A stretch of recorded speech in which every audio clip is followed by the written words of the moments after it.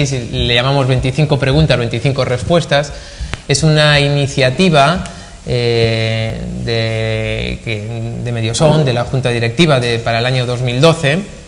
Básicamente lo que buscábamos era eh, tener encuentros temáticos mm, muy técnicos, o intentando que fueran muy técnicos, que respondieran a preguntas eh, que fueran pues, relevantes para nosotros, para nuestro negocio, para el negocio del media digital. Eh, la primera experiencia es la de esta tarde, es eh, el, primer foro que vamos a realizar, esperamos que sea muy interactivo, ahora os voy a contar un poquito cómo va a ser la mecánica del mismo.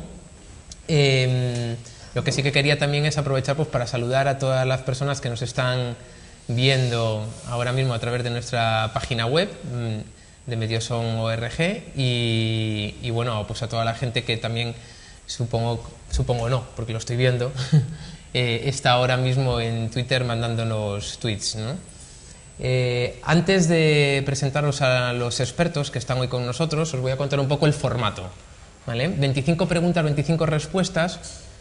Se basa básicamente en que vosotros durante estas últimas semanas nos habéis enviado mm, diferentes preguntas, hemos seleccionado 25 de ellas, que se las vamos a hacer a los tres expertos que nos acompañan. Eh, ellos pueden responder uno de ellos o los tres, dependiendo de la intensidad de la pregunta, lo que queráis. Y vamos a hacer una cosa que se llama el rebote de la pregunta. Es decir, una vez que ellos respondan, tenéis un micro para vosotros poder eh, bueno, pues, puntualizar, mm, debatir. ¿vale? Si no hay debate en esa respuesta de la pregunta, saltamos a la siguiente, a la siguiente cuestión y así 25 veces. ¿Vale? Vamos a hacer de manera bastante dinámica. Y paso a presentaros pues, a nuestros expertos. Como sabéis, el primer foro va sobre SEO. Son 25 preguntas, 25 respuestas sobre SEO. Eh, a mi derecha está Ismael El Kutsi, que, bueno, además de su larga trayectoria, que no la vamos a decir aquí, por Microsoft, en las agencias de medios, en el grupo Abbas, Hoy es el CEO de Internet República. Me extraña mucho que no tenga una camiseta. Tengo abajo, pero es que hace frío, pero tengo aquí el... Porque siempre viene con camiseta. Eh, a mi izquierda está Fernando Macía, que es el CEO de Human Level. Eh, y a su lado está Fernando Muñoz, arroba señor Muñoz, más conocido así, que también es eh, consultor de, de, SEO y, como yo le digo, el CEO de su propia compañía, que es señor Muñoz. Así que buenas tardes, muchas gracias por acompañarnos. Buenas tardes. Y vamos a empezar. La primera pregunta que nos llegó fue esta. Google lleva años trabajando en una ordenación más semántica, en concreto en Google Knowledge Graph, por lo que se estima un cambio radical en su forma de organizar la información. ¿Qué implicaciones tendrá su implementación en la efectividad de las técnicas SEO actuales? Bueno, abro, abro, yo el, abro yo la veda. En el 2010 eh, Google compró una compañía que lo único que hacía era eh, tener eh, categorizaciones y conexiones entre, entre términos. En esa en esa compra lo que buscaba era lo que este año eh, Signal, que es uno de los ingenieros de mayor prestigio de, Google y uno de los más eh, conocidos, es, eh, ha lanzado la bomba. Es, Google será semántico. El problema de las búsquedas semánticas es que, como vosotros que sois de medios entendéis, diferenciar entre el balón el balón gástrico, el balón eh, de fútbol, el balón de baloncesto, depende de un contexto. Bueno, en ese formato es donde Google no ha podido entrar todavía. No es capaz de discernir de forma eficiente cuál es el, eh, cuál es el significado dentro de un contexto. Y Signal eh, lo dijo el otro día, dice, el año del 2012 es el año de la búsqueda semántica. Robo una frase de Ismael que seguramente habéis escuchado, que es eh, como Guti, es el móvil, que es el, eh, futuro siempre. la, búsqueda semántica nosotros lo llevamos eh, comentando desde el 2008. Bueno, pues este año parece ser que va, a meterse ya de lleno. ¿Qué es lo que va a permitir que vosotros que sois emisores de contenido y además emisores de contenido perfectamente trabajado eh, tengáis una ventaja con respecto a la gente que, no hace ese misma, esa misma escritura? Eh, vuestra gente, vuestros redactores tienen una ventaja, que todo lo que escriben está, eh, todo tiene su concepto periodístico de siempre. Entonces, esto va a beneficiar a aquellos emisores de contenido que realmente son emisores de contenido muy buenos. Personalmente eh, pienso que va a limpiar mucho, mucho, mucho malos resultados eh, de, los, eh, de los índices de búsqueda y va a dar mayor relevancia a aquellas páginas que tienen un contenido mucho, más, mucho mejor organizado. ¿Algo que añadir? Sí, yo quería añadir lo que decía Fernando. Llevamos años hablando de la, de la semántica y la semántica y yo creo que ahora justamente es cuando menos importante es la búsqueda semántica. Para los que no estén muy puestos en la búsqueda semántica, ¿qué es la búsqueda semántica? Eh, Google nos ha enseñado a buscar como los indios, ¿no? Apartamento Mallorca o viajes eh, Málaga o lo que sea.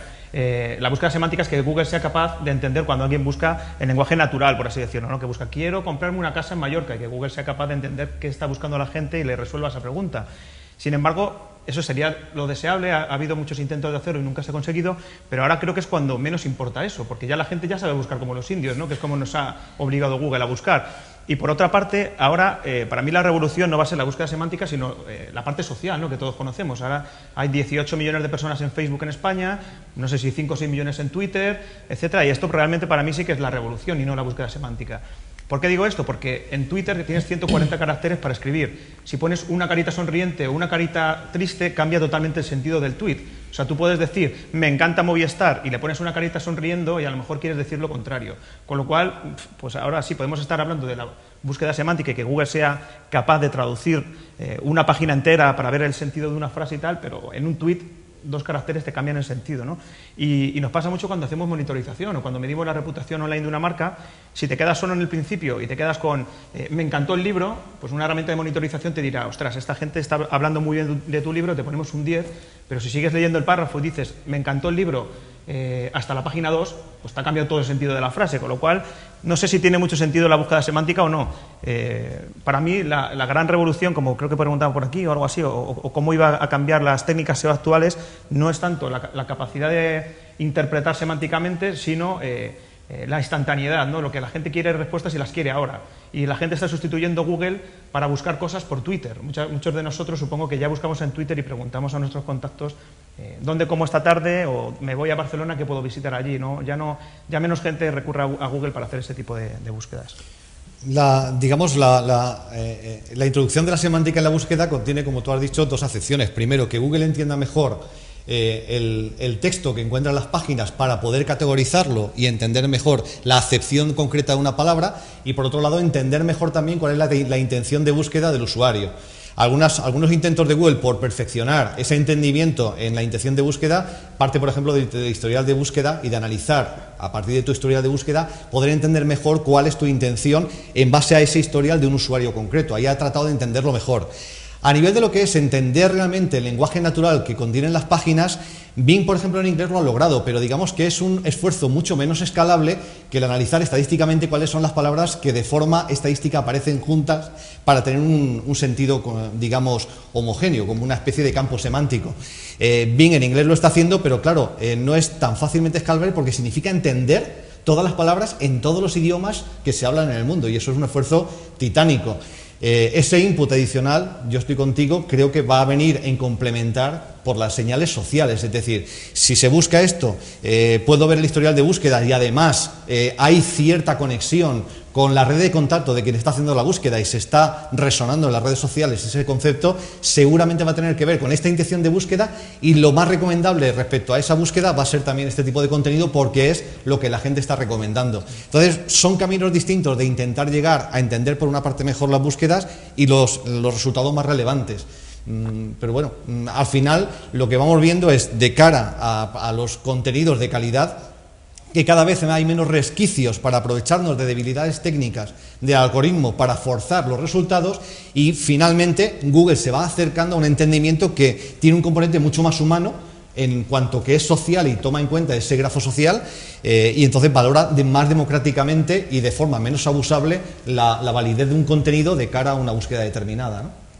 Lo que tú cuentas de la personalización es cierto y, es un área de, investigación ¿no? de, los motores de búsqueda, de los buscadores, intentar eh, saber qué busca Fernando, qué busca el otro Fernando y qué busco yo y no sé qué. Y eso está muy bien y, se habla mucho de la publicidad contextual de Google y que Google puede saber tus gustos y tal, pero no siempre funciona porque si tu mujer, tu mujer y tú usáis el mismo eh, ordenador, pues ya, ya, por muy listo que sea Google ya no sabe quién es quién en cada momento porque no te está obligando a identificarte cada vez que buscas. Entonces no siempre se puede se puede ajustar. ¿no? Y, es cierto que Google apuesta mucho por la semántica desde el punto de vista que si, recordáis hace un par de años la caja de búsqueda de Google era pequeñita y ahora ocupa la mitad de la pantalla. O sea, doblaron la caja de búsqueda. ¿Por qué?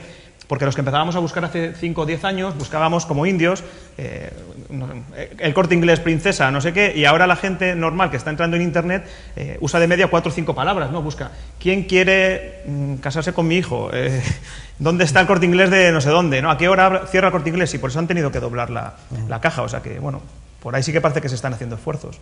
Bueno, el día que Google sepa quién quiere casarse con mi hijo, eh, eso mejor empezar a preocupar. Rebotamos la pregunta, esta primera cuestión. ¿Hay alguna opinión en la sala? ¿Alguna pregunta que se quiera realizar? recuerdo que estas preguntas están hechas por vosotros, así que si hay alguien que haya hecho esta primera pregunta y quiera comentar algo, ¿no? Pasamos a la siguiente entonces. La siguiente dice, se dice que Facebook está preparando la mejora de su buscador. Cuando lo lance, ¿Cómo afectará al mercado de las búsquedas y a la cuota de mercado de Google? Quizás es una pregunta de bola, ¿no? de magia, ¿no? pero algo que comentar, la verdad es que está ahí ¿no? el run run en el mercado, no de que lance su buscador, sino que ya lo tiene, ¿no? sino que en realidad el buscador mejore hasta un punto en el que, en el que bueno, pues, eh, los resultados que muestre puedan llegar a ser impactantes en cuanto a los referrers que puedan llegar a las páginas ¿no? de terceros.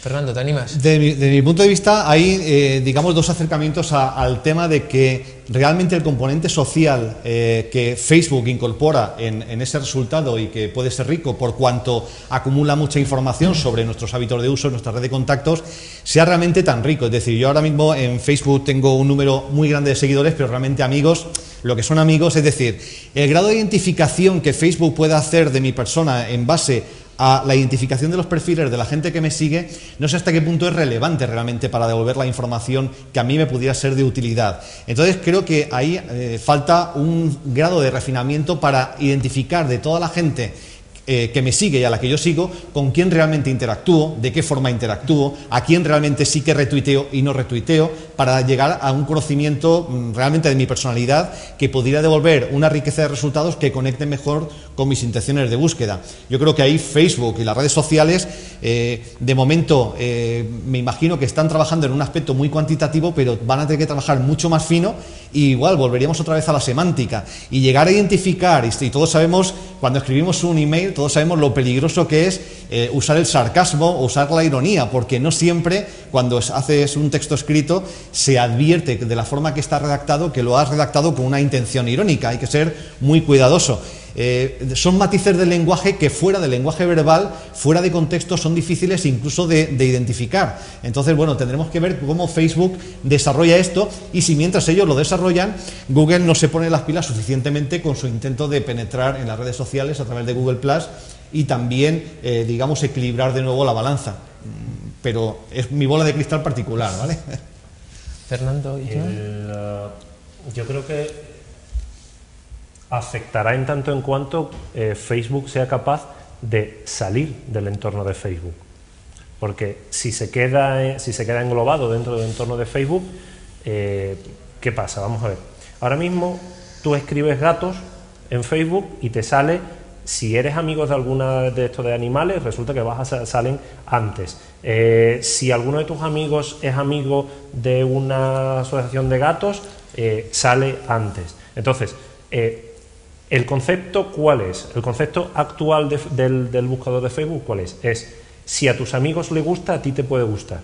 Eso quiere decir que si yo tengo eh, muchos eh, amigos chinos, yo soy chino, ¿no? O, algo, o algo parecido. Bueno, pues em, le quitará mercado a Google en tanto en cuanto sea capaz de salir eh, del entorno de Facebook, de, de, hacer indexación, porque ¿cuánto hemos escrito un post, un, una nota en Facebook de más de 100 caracteres?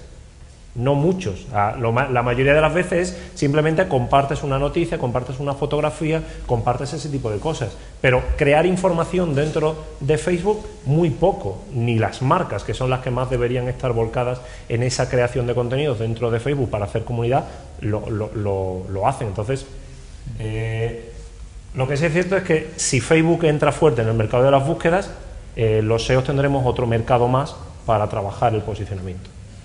Aparte de eso, yo espero quedarme, no quedarme sin trabajo rápidamente.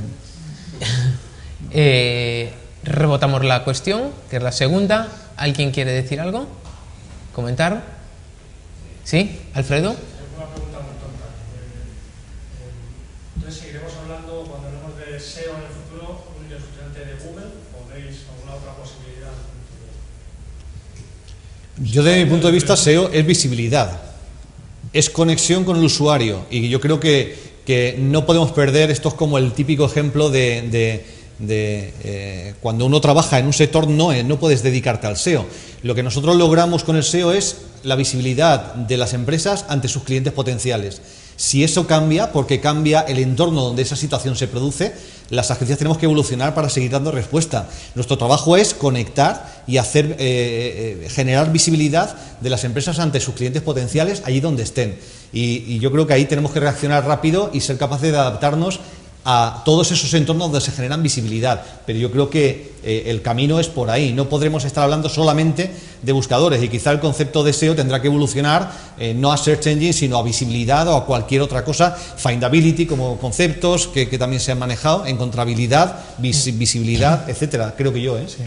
Nosotros, yo te pongo nuestro caso, eh, somos una agencia reciente, o sea, somos nuevos y, ya no ponemos que hacemos SEO en nuestra página web, ponemos que hacemos visibilidad y solo hacemos dos cosas realmente, que es SEO y social media, porque no entendemos que hagas social media por un lado, SEO por otro, porque al final es lo que tú dices, eh, SEO está bien para Google, pero es que ahora está Facebook, que es todo lo que pasa en Facebook, Google no lo indexa, por lo cual para mí hay dos Internet, está la Internet de Google y la Internet de Facebook.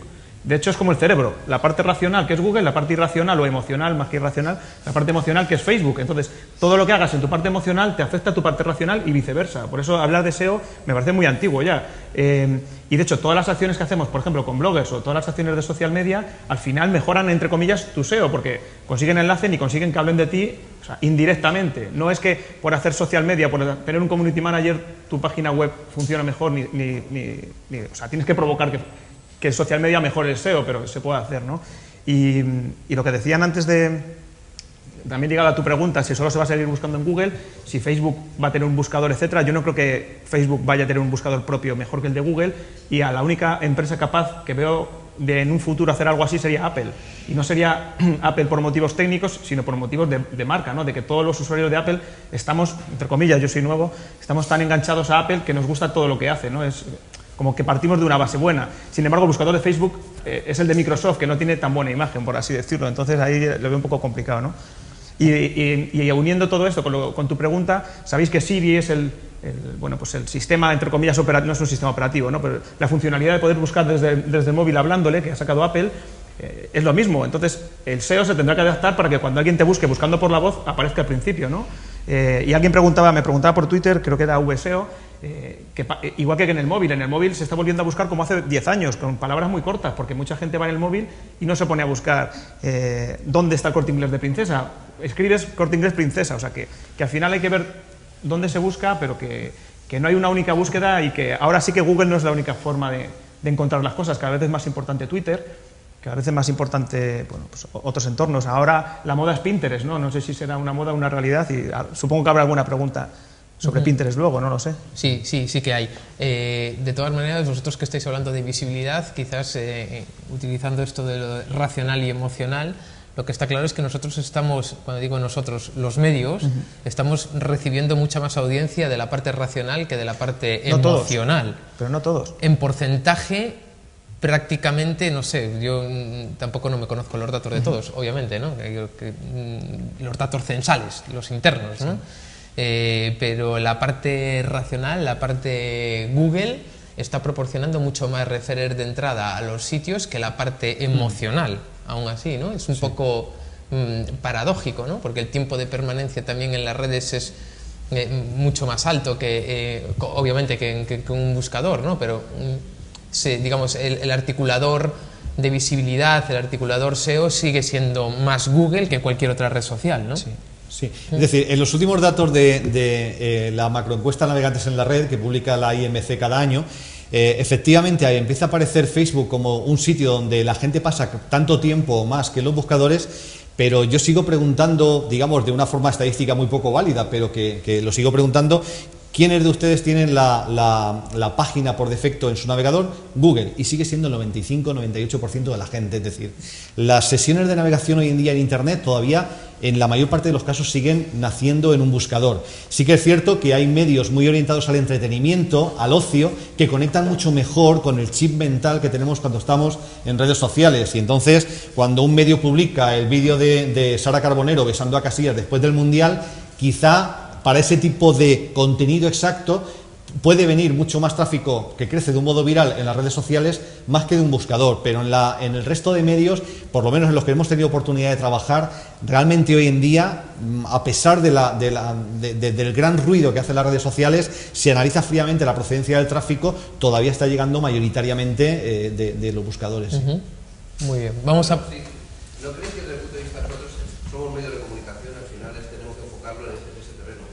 ¿No tenéis la percepción de que cuando se está buscando lo publicado se sigue acudiendo a Google y cuando se está buscando lo que está ocurriendo se acude a Twitter, no a Pregunta, es una percepción mía y no sé si tenéis... Sí, pero eh, cuando, eh, cuando hay los famosos trending topics en, en- Twitter, lo primero que hace es te vas, clicas y ves de los últimos 20, de los últimos eh, 40 tweets, qué es, de qué están hablando. Ahora hace, hace nada eh, el tema de Adolfo Suárez. ¿vale? Aparece Adolfo Suárez, Adolfo Suárez aparece. eh, Tal vez yo tenga mm, todavía mi mentalidad SEO muy desarrollada, que yo pongo en el, yo busco en la barra Adolfo Suárez y ya entro a, través a través de news, ¿no? Eh, lo que sí es cierto es que para enterarte de lo mínimo, que es lo que todo el mundo, eh, casi todo el mundo va buscando saber, que es lo mínimo, Adolfo Suárez en, eh, in- internado por una bajada de tensión. Bueno, pues ya sé lo que le ha pasado a Adolfo Suárez. Y a partir de ahí, cuando entras en lo que haya publicado el medio de Sí. Si, Normalmente. si te interesa, si te, o sea, si te- Pero ya lo has visto, ya lo has visto y dices, bueno, pues ya sé lo que me ha pasado y ya está. Pero teniendo esa percepción que yo creo que coincidimos más o menos todos en cuanto a los hábitos, ¿no pensáis que el buscador de Twitter es bastante malo? El buscador de Twitter, sí, sí, seguramente. Lo que pasa es que yo eh, advierto una cosa respecto a la búsqueda en Twitter. Eh, si lanzamos una búsqueda como la que comentaba antes Ismael, de eh, mira, estoy en Madrid esta noche, eh, me recomendáis que vaya a ver El Rey León o el, ¿vale? o, o el otro musical. Eso sería una búsqueda que yo haría en Twitter. Sin embargo, hay búsquedas mucho menos confesables que yo no quiero identificarme públicamente y que no lanzaría nunca en una red social donde tengo que firmarla. Digamos que en Google, de alguna manera, eh, tanto en intenciones de negocio, como en hábitos de uso, como en cualquier afición que puedas tener y que quieras mantener en un perfil bajo, mm, va a haber ciertas búsquedas que jamás vas a lanzar a, a tu red de contactos y para que se haga pública en Twitter.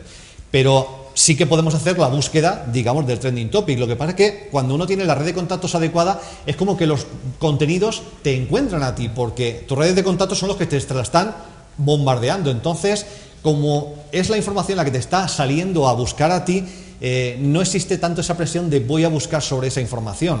Realmente cuando uno ha seleccionado la red, eh, de seguidores a, a quien sigue que aporta la información de mayor valor, uno abre y es como una especie de chorro en donde uno pone la boca y trata de beber todo lo que puede. Sabes que no vas a poder bebértelo todo, pero tratas de absorber. Pero no existe tanto esa urgencia de Google lo abres y no tienes nada, a menos que tú activamente hagas algo, no te devuelve nada. En cambio, Twitter es abrirlo y es como un chorro de información que empiezas a tragar. Mm, Te invita menos a, a proactivamente, de una forma autónoma, eh, lanzar una búsqueda. Y aún así, el buscador de Twitter tendría que mejorar mucho porque el contenido de Twitter es tan efímero, desaparece tan rápidamente, que su valor realmente pues, no es tan, tan grande. Google es mejor para el lado oscuro de la vida, ciertos aspectos. Es decir, si yo quisiera encontrar, por ejemplo, por mucho que se hable de LinkedIn, quisiera encontrar eh, pues un gestor comercial para mi empresa en Madrid, pues no, no es algo que yo voy a lanzar en Twitter, si no quiero que mi competencia se entere. ¿no? Pues yo, yo busco toda, o sea, todas las ofertas de trabajo las ponemos solo por Twitter, así que me ha fastidiado.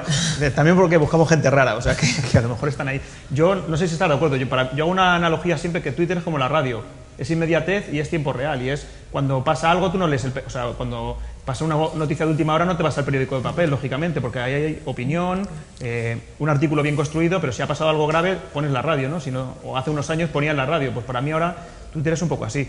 Y el buscador de Twitter eh, es exactamente es eso. De hecho, Twitter tu- tuvo que comprar un motor de búsqueda porque el suyo propio no es muy bueno. Y no sé por qué no lo tienen bien integrado. Eh, de hecho, lo mejor es ir a search.twitter.com, que ahí tiene muchas más opciones. Te permite buscar solo en, en español, por ejemplo, porque si, si tú buscas en general, a lo mejor te busca de, todo- de todo. ¿no? Si vas a search.twitter.com, te permite buscar en el idioma que quieras con palabras claves. Te permite buscar cerca de ciertos sitios. Por ejemplo, gente que hable del Real Madrid, que no es un buen ejemplo hoy, pero gente que hable del Real Madrid. Es bueno. No, buena leche. gente que hable del Real Madrid, pero cerca de Chamartín. O sea, le puedes ir filtrando incluso por zonas, por poblaciones, que el buscador normal no lo tiene y que poca gente conoce que existe este buscador dentro de Twitter. ¿no? Bien, vamos, tenemos dos rebotes y parece que la segunda pregunta ha dado, Sí, mucho sí, que ha hablar, ha dado mucho de mucho de sí. La primera la, la teníamos atrás y después aquí adelante. Yo quería hacer una, una gusta, apreciación. si, si no os importa, decir vuestro nombre y os presentáis, ¿vale? Para... Vale, pues me, me llamo Javier Lorente y trabajo en, en Prisa junto con Edurne, que está por ahí atrás. Y quería hacer una apreciación, al hilo de la pregunta, una apreciación, insisto, personal. Y es que a mí me da la nariz que, que sí que va a afectar cuando. Yo lo primero que tengo que decir es que doy por supuesto que Facebook va a indexar toda la web, o sea, al, al estilo de lo, de lo que hace Google, y que creo que sí que va a afectar al mercado de las búsquedas, y mucho, porque no sé si voy a quedar como visionario, pero lo veo como claro vencedor en la batalla por dos razones. La enorme base de, usuarios que tiene actualmente, eh, y la segunda, que a esas señales sociales, eh, los me gustas, eh, shares y demás, digamos que están en una parcela cerrada a la que Google no puede acceder. Sin embargo, a las métricas que actualmente ordenan los, los- los resultados de Google, Facebook sí que puede acceder. Facebook puede ver cuántos enlaces tiene una web, igual que lo puede hacer Google. Sin embargo, Google no puede acceder a las señales de Facebook. Eh, partiendo de la base que ya tiene mil millones de usuarios, si yo puedo buscar en Facebook y realmente hace un buen buscador, que quizá la, la barrera más importante que pueda tener ahora mismo es la tecnológica, ¿no? La de pues, los, los millones de, euros que está invirtiendo Google en servidores y en, y en cuestiones meramente técnicas. Si Google, o sea, si Facebook puede hacer un buscador que le haga mínimamente sombra, partiendo de la base de, datos- de- de usuarios que tiene, si yo puedo buscar algo en Facebook, ¿para qué voy a abrir otra web para, para irme a Google? ¿no? Es, es mi, mi impresión personal. Sí, bueno, es una muy buena, muy buena reflexión. De hecho, dicen que el botón me gusta es una verdadera fotocopiadora de la web, ¿no? Eh, Cada acción del botón me gusta en realidad es una copia de la página web, ¿no? Almacenada. Otra cosa es después lo que se haga con él. Tenemos aquí, delante. Yo soy Javier, de la comunidad editorial. Bueno, iba a hacer una- un, comentario rápido que he incidido antes de que hay más tráfico todavía de, Google, de entorno de, de Search, que de redes sociales. Es cierto, sí, pero también es que las redes sociales son un factor para posicionar en, buscadores, con lo cual realmente el efecto que haces al potenciar una cosa en Twitter o lo que sea tiene un beneficio en el tráfico que luego obtienes de Google, el refer se lo queda Google, lo mides como tráfico de SEO, todos contentos, pero tiene gran parte del esfuerzo que está en el otro lado. Entonces, que son temas que tienen que ir un poco, un poco a la par. Y con lo que he comentado ahora, ahora Javi, vamos, sí que es cierto que, el, que todo el entorno de relaciones personales y de valoraciones está en manos de, está en manos de Facebook. El Google está moviendo la ficha con lo del Google Plus para conocer a los usuarios y demás, pero yo no creo que Facebook vaya a entrar a entender la relación de, de necesidades, productos y servicios que ya tiene Google. Es decir, Google empezó como un buscador. Te metes en un buscador porque tienes una necesidad de un producto, un servicio o lo que quieras. Y esa relación de las necesidades con los objetos y la, y la medición que está al otro lado, yo creo que está más desarrollada por, por Google que por Facebook. Vamos, que lo otro, que me parecería genial que hubiera un combate entre ya dos grandes y que las cosas empezaran a cambiar, pero no creo que esté en manos de, de Facebook el, el futuro de todo esto. Muy bien. Oye, pues muchas gracias también. Son, Sí. son dos opciones contrapuestas, las las dos opiniones que hemos tenido. Está bien. Saltamos a la tercera. Bueno, Ferriol. Sí. Ferriol de Grupo Godó. Sí. Un pequeño matiz es que en Inglaterra, por ejemplo, The Guardian con Facebook tiene más tráfico de Facebook que de Google. Y Washington Post está cerca, cerca, ¿no? O sea que quizás los medios en España aún no hemos sabido También porque invierten Eh. mucho más en las propias plataformas, crean su propio lector dentro de Facebook, y- o sea, que no lo usan solo como, vale, soy un periódico español, pongo el compartir en Facebook, sino que hacen cosas dentro de, de esas redes sociales, creo yo, ¿no? Vosotros Sí, más. porque también creo que entienden que realmente ahora el usuario de Facebook, o sea, participa, interactúa y busca lo que tiene que buscar y se queda en Facebook. A veces estamos o intentamos hacer que el usuario venga para nosotros, cuando el usuario consume y se ha ido a Facebook a consumir el producto desde ahí. Yo creo que The Guardian ha sabido entender esa, esa situación y Washington Post también, y ha marcado una tendencia. Ya veremos qué pasa ¿no? en el futuro en España. Y de hecho, hace cinco años, perdona Juanjo, hace cinco años en España no se nos podía ocurrir que un periódico español dejara comentar sus noticias. O sea, no, no hace tanto, hace cinco años o menos, eh, y de hecho hay alguno que creo que, que no, no lo permite, ¿no? Entonces, eh, evidentemente, pues esta gente no está preparada para exportarlo a Facebook, lógicamente, ¿no? Bien, bueno, la segunda cuestión y ha dado tela, ¿no? Vámonos a la tercera. Los resultados de Google Plus ya están integrados en los resultados orgánicos de Google, cuando un usuario navega login. Bien, esto lo sabemos, ¿no? En el medio plazo, ¿será un factor relevante de posicionamiento tener contenido de calidad y único en Google Plus? Yo es que me, me niego a hablar de Google Plus, o sea, es que no, no lo uso, no me parece útil. Como mucho, programamos un robot para que la misma información que ponemos en Facebook lo ponemos en Google Plus, aunque hay opiniones distintas dentro de mi propia agencia, cada uno tiene su opinión, pero me niego a hacerle, ¿sabes?, la, la propo- la promoción gratuita más a Google, estoy un poco harto ya. Esto es como, este como lo de las, las cadenas de televisión, ¿no? Que han hecho la mayor campaña de la historia para Facebook y para Twitter. Tú no se lo vas a hacer a Google Plus. No, pero es que, o sea, me parece que siempre, además, en eso Google ha sido muy bueno, ha, ha distinguido publicidad de, o sea, lo que, lo que ha pasado con los periódicos, ¿no? De editorial, de comercial, no siempre ha distinguido Google los resultados comerciales de los resultados eh, orgánicos, ¿no? Aunque cada vez los mezclan más y el color amarillo de, la- de la publicidad ya casi parece blanco, ¿no? Pero siempre, de hecho, criticaban Altavista, que era el buscador que antes usábamos todos, porque decía que Altavista mezclaba, joder. Pues menos mal.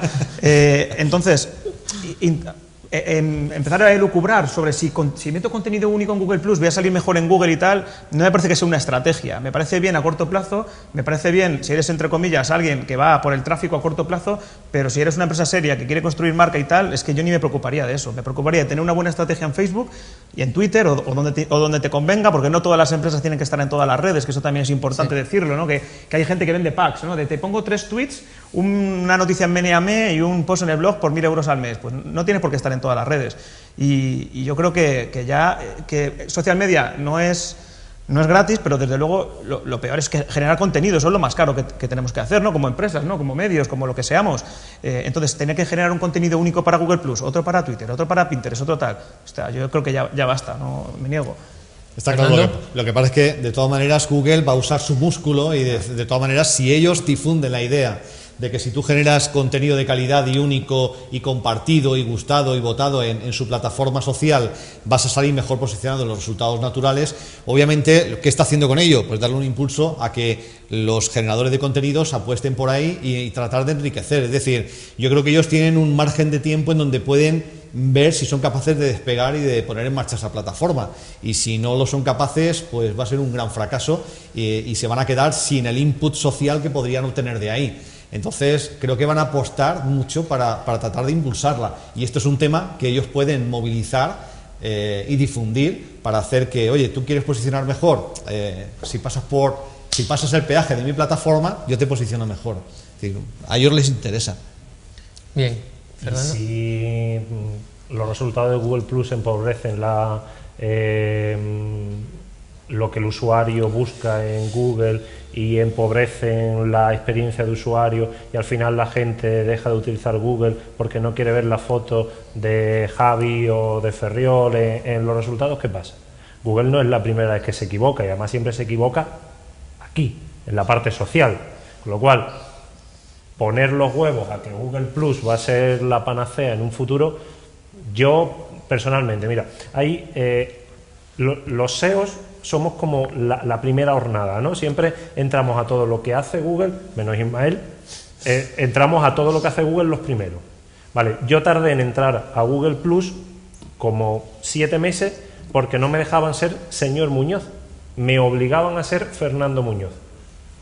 Bueno, si tú me obligas a usar tu plataforma con tus reglas de juego y yo no quiero, igual que yo, hay mucha gente que no quiere. ¿Qué pasa con todos los... Todos nos conocemos eh, más o menos de Twitter, nos leemos en Twitter y ahora resulta que VSEO no es VSEO.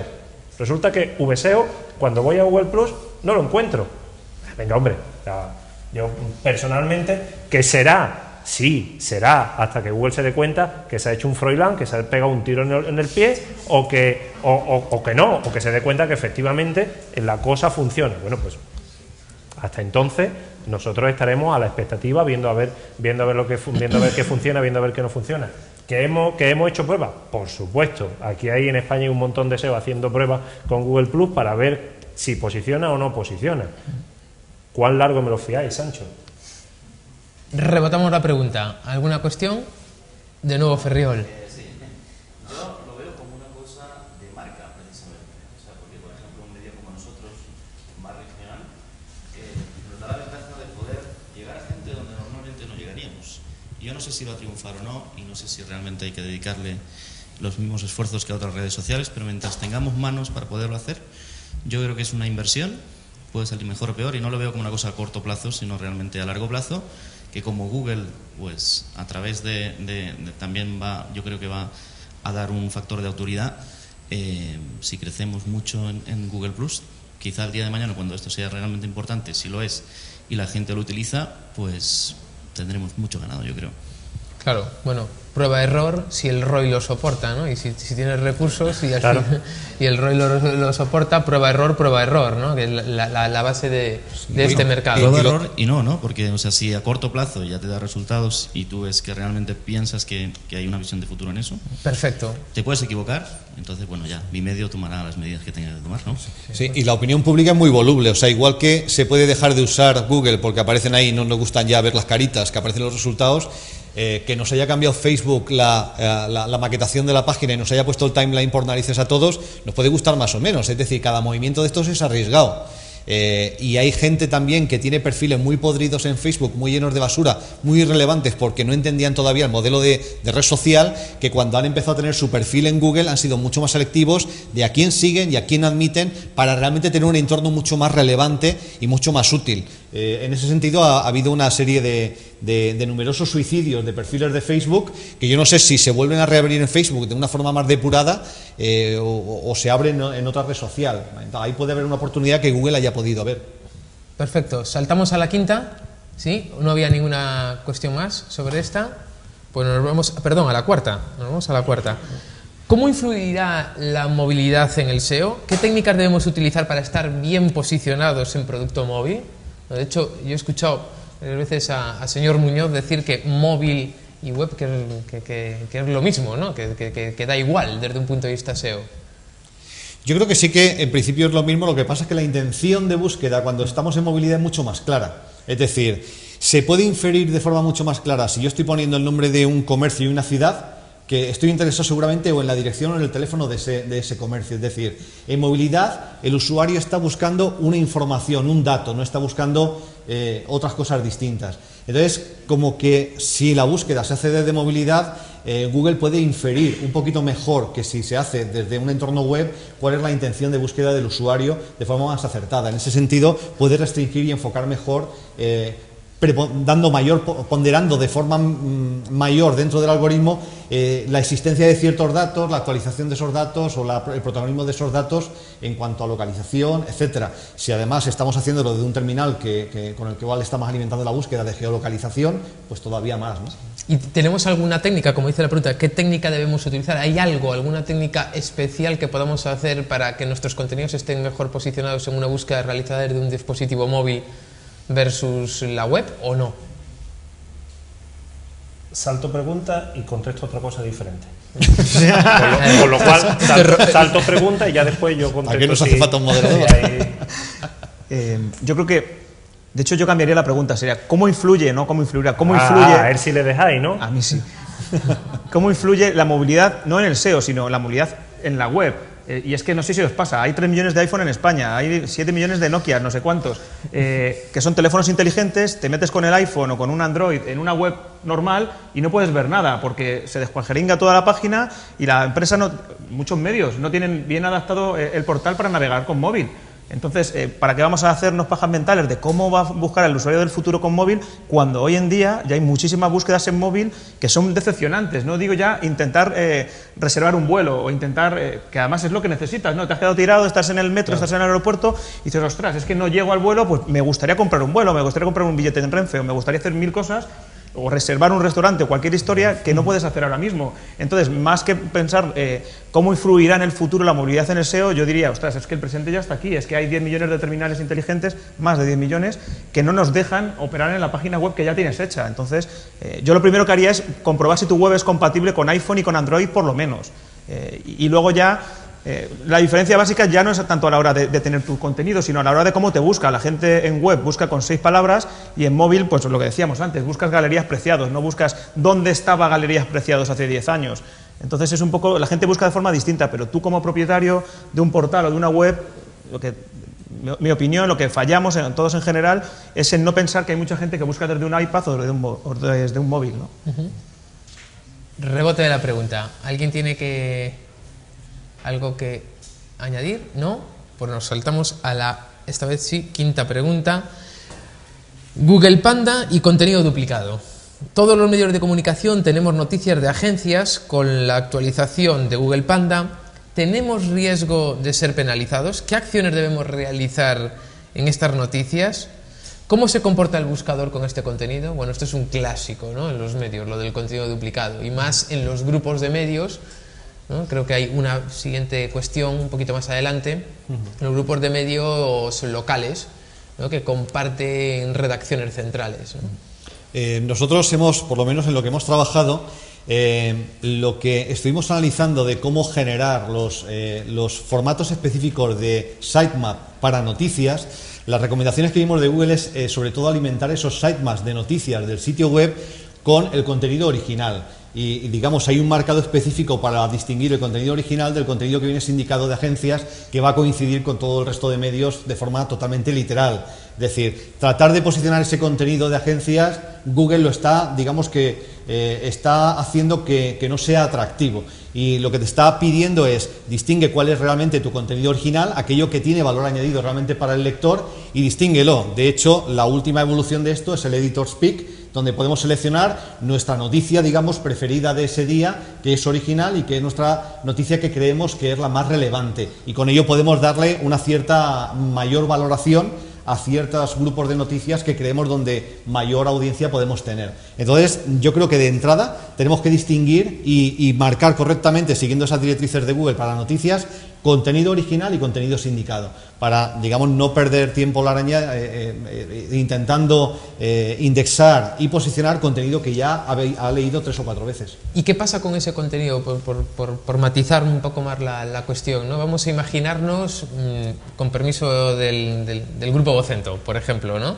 que es una noticia que la crea abc.es, porque tiene ámbito general, uh -huh. nacional, y esa misma noticia la utilizan los distintos diarios que tiene el grupo Vocento locales, ¿no? En realidad es original de ABC, es decir, no sería esa sindicada, sino que es original de calidad de ABC y quiere estar bien posicionado, ¿no?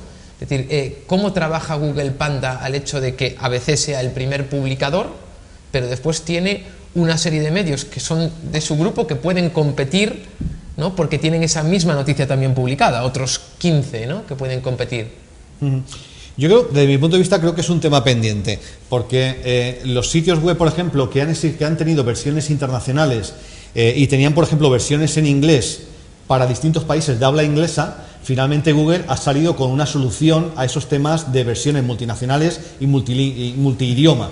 Con lo cual ahora tú tienes un marcado especial donde puedes decir cuál es exactamente la URL que tú quieres que se posicione en cada país. En el caso de comercio electrónico eh, era un ejemplo sangrante porque muchas veces se veía desde el país eh, la página incorrecta con los, eh, los precios incorrectos o la cartera de producto incorrecta. Ahora tenemos una posibilidad de con ese marcado especial dirigir exactamente el contenido que queremos posicionar en cada país.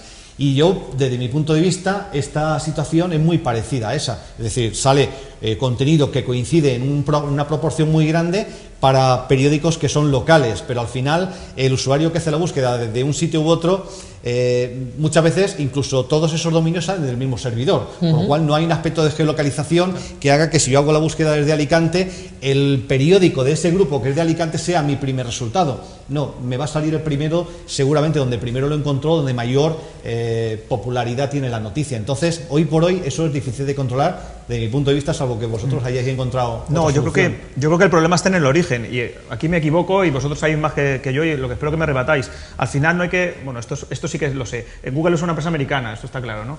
Eh, y la realidad americana es muy distinta a la española, en el sentido que hay un mercado de 400 millones de personas y hay, no hay periódicos locales, claro que hay periódicos locales como en España, pero eh, allí un periódico local, entre comillas, puede tener 5 millones de, de audiencia, ¿no? Entonces, a lo mejor pueden tener noticias distintas según un periódico en Nueva York y en, y en Seattle, ¿no? Eh, sin embargo, aquí es, el, modelo, por poner el ejemplo de Vocento, de sindicar la noticia en sus 20 cabeceras, por decir algo. No, eh, no tiene tanta, tanta, audiencia y económicamente no es viable poner 20 redacciones, a lo mejor, a escribir su propia versión de la noticia, cosa que en Estados Unidos sí que lo es. Entonces también es un poco, ya no solo técnicamente, sino de, parte de la concepción esa. Eh, técnicamente lo que mejor se puede hacer es decirle que una, una es el origen de la noticia y posicionar esa, como puede ser la cabecera del grupo, con lo cual vas a tener a 20 eh, cabeceras regionales enfadadas con, el, con, la, con Madrid, ¿no? Eh, técnicamente es la solución, pero yo creo que el problema es ese, que no hay ahora mismo una audiencia en Ávila, por poner un ejemplo, no hay una audiencia en Ávila para soportar el tener redacciones y el tener una versión distinta del periódico de Madrid. Sin embargo, el periódico que se vende en Florida y el que se vende en Nueva York es totalmente distinto. Y, eh, y volviendo a la pregunta, eh, volviendo a esta primera parte de las tres preguntas que hace, eh, ¿hay riesgo de penalización en ese caso? No, cuando se dice penalización es que la gente confunde de, ostras, si copio la noticia de mi casa matriz, me van a penalizar y no voy a salir nunca en Google. No, lo que pasa es que tu casa matriz se va a posicionar antes que tú porque es más importante, es más relevante. Simplemente, o sea, cuando se habla de penalización, la gente, o sea, realmente no es que Google te eche del buscador, lo que hace es que si tiene 25 noticias iguales, pues lógicamente eh, ABC en este caso la pondré por delante de un periódico regional, pero porque es el más importante. No es que estos periódicos regionales desaparezcan de Google para todo, ¿no? Cuando ellos hablen de cosas locales saldrán antes que ABC, pero cuando hablen de la noticia de que Rajoy hace no sé qué historia, pues saldrá ABC primero. O sea, ese, eh, no es una penalización como tal, sino es darle más importancia al que realmente ha sido el autor de la noticia. Yo creo que aquí el problema son las agencias de noticias, que al final, si todos los portales tipo Yahoo, Microsoft y muchos periódicos cogen la información de Europa Press o de Reuters o de quien lo cojan, al final el creador de la noticia no es Yahoo, ni MSN, ni el diario de Málaga, es Reuters. Y, es que originalmente es así, o sea, realmente... Eh, entonces, ¿qué pueden hacer los periódicos? También se puede hacer que esa parte copiada, entre comillas, de la fuente original sea menor. Por ejemplo, ¿con qué? Con comentarios. Si tú pones una noticia en marca y tiene 800 comentarios, pues claro, tienes tanto contenido nuevo que no tiene Europa Press que al final te puedes posicionar tú por encima.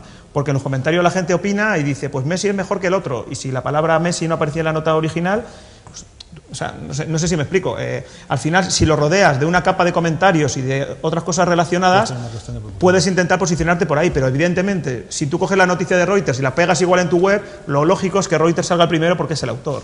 Hay un aspecto de credibilidad y, tiene que ver con la proporción de cantidad de noticias que damos de agencia y que generamos nosotros individualmente como medio. Entonces, eh, desde mi punto de vista, la mejor recomendación cuando eh, generamos los archivos sitemap de noticias es incluir exclusivamente las noticias originales nuestras. Las otras eh, van a estar en la arquitectura, la araña las va a poder leer igual, pero si estamos pidiendo a Google que indexe eh, un contenido específicamente, pongamos en ese contenido realmente solamente el contenido que es original nuestro.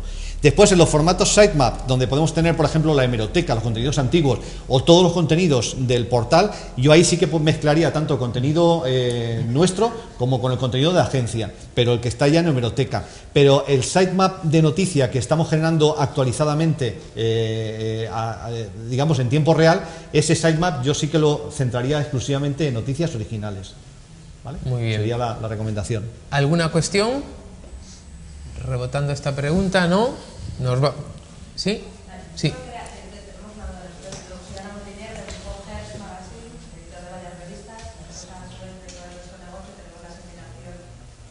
Dale.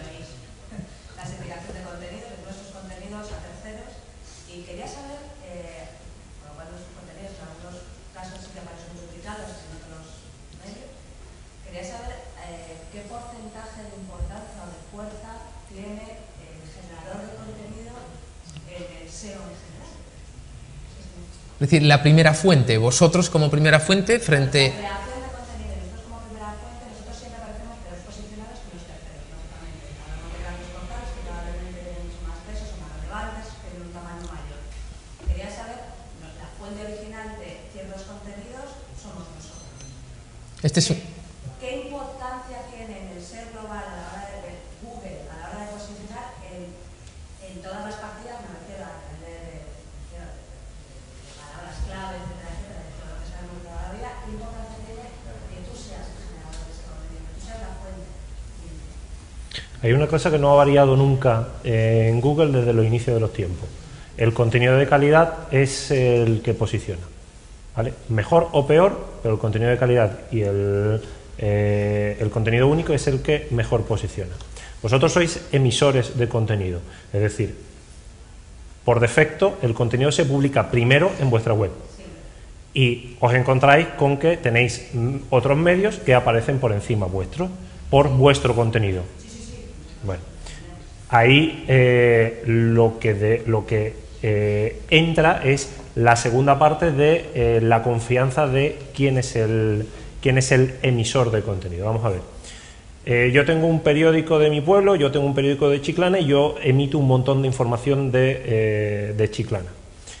Pero claro, si yo tengo, yo mi contenido los indico a un, médico, un medio nacional, en importancia hay unas determinadas páginas web que Google como que mira de mejor forma. Pero, pero en, en volumen, por ejemplo, tengo un ejemplo concreto que te entendí perfectamente. En nuestro caso, un contenido de moda y belleza de una de nuestras revistas femeninas por las que basas, digamos que dobla en importancia, relevancia y todo al, al tercero emisor. Pero, sí, pero Por- y, y aquí hacemos por debajo. Si nosotros publicamos primero el contenido, somos mucho más Vale. relevantes, Vale. sin embargo son más pequeños. Entonces, solo el volumen de ese tercero la importancia del que emite el contenido es eh, la, la otra parte de la emisión de contenido. ¿vale? Solo eh, con contenido yo puedo escribir el mejor artículo sobre algo, pero si lo escribo yo y no soy una fuente de referencia, yo no voy a posicionar, porque no soy una fuente de referencia. Nos pasó el otro día con, con el tema de los andaluces, ¿vale? Los andaluces son una campaña, y resulta que aparecieron un montón de medios por encima de un dominio recién creado. Nosotros éramos emisores del contenido que los otros medios estaban, replicando, ¿no? Pero nosotros aparecíamos eh, por debajo porque el dominio era un dominio nuevo y era un dominio con poca confianza, con pocos enlaces entrantes. Entonces, eh, de base, la, respuesta siempre va a ser, si tú eres el emisor de contenido, publica primero y aparecerás primero, ¿vale? Esa es eh, la regla básica, Ahora, claro, hay una serie de determinantes que no siempre se controlan. Eh, ¿Te puedo hacer una pregunta? Eh, no es muy personal. Eh, cuando publicáis el contenido, tu móvil, no, cuando publicáis el contenido, eh, ¿la otra gente os lo copia o se lo estáis cediendo, se lo estáis vendiendo y se lo exportáis y no podéis pedirle que os ponga un enlace como que sois el autor original? No, no, no. La, marca y el logo para Google es invisible. claro. Es que muchas veces se pone eh, fuente Europa Press, fuente Reuters, pero nadie la enlaza, con lo cual, si a ti te están haciendo igual, ya puedes ser el, autor y ya puedes tener un logo muy reconocido, pero si nadie te está enlazando como la fuente de ese artículo, lo primero estás perdiendo un montón de, de page run, ¿no? de, importancia. Claro. Y una, y, y otra, y una parte técnica es, eh, tú emites el contenido y compruebas que al minuto está indexado por Google tu contenido y al día siguiente el que posiciona antes es el otro, porque puede ser que tu contenido no le llegue a tiempo a Google y haya otro medio, por ejemplo, hay un medio de comunicación que es especialista en eso, recibe las, ah, las noticias de agencia y las publica y no se- milisegundos, ¿vale?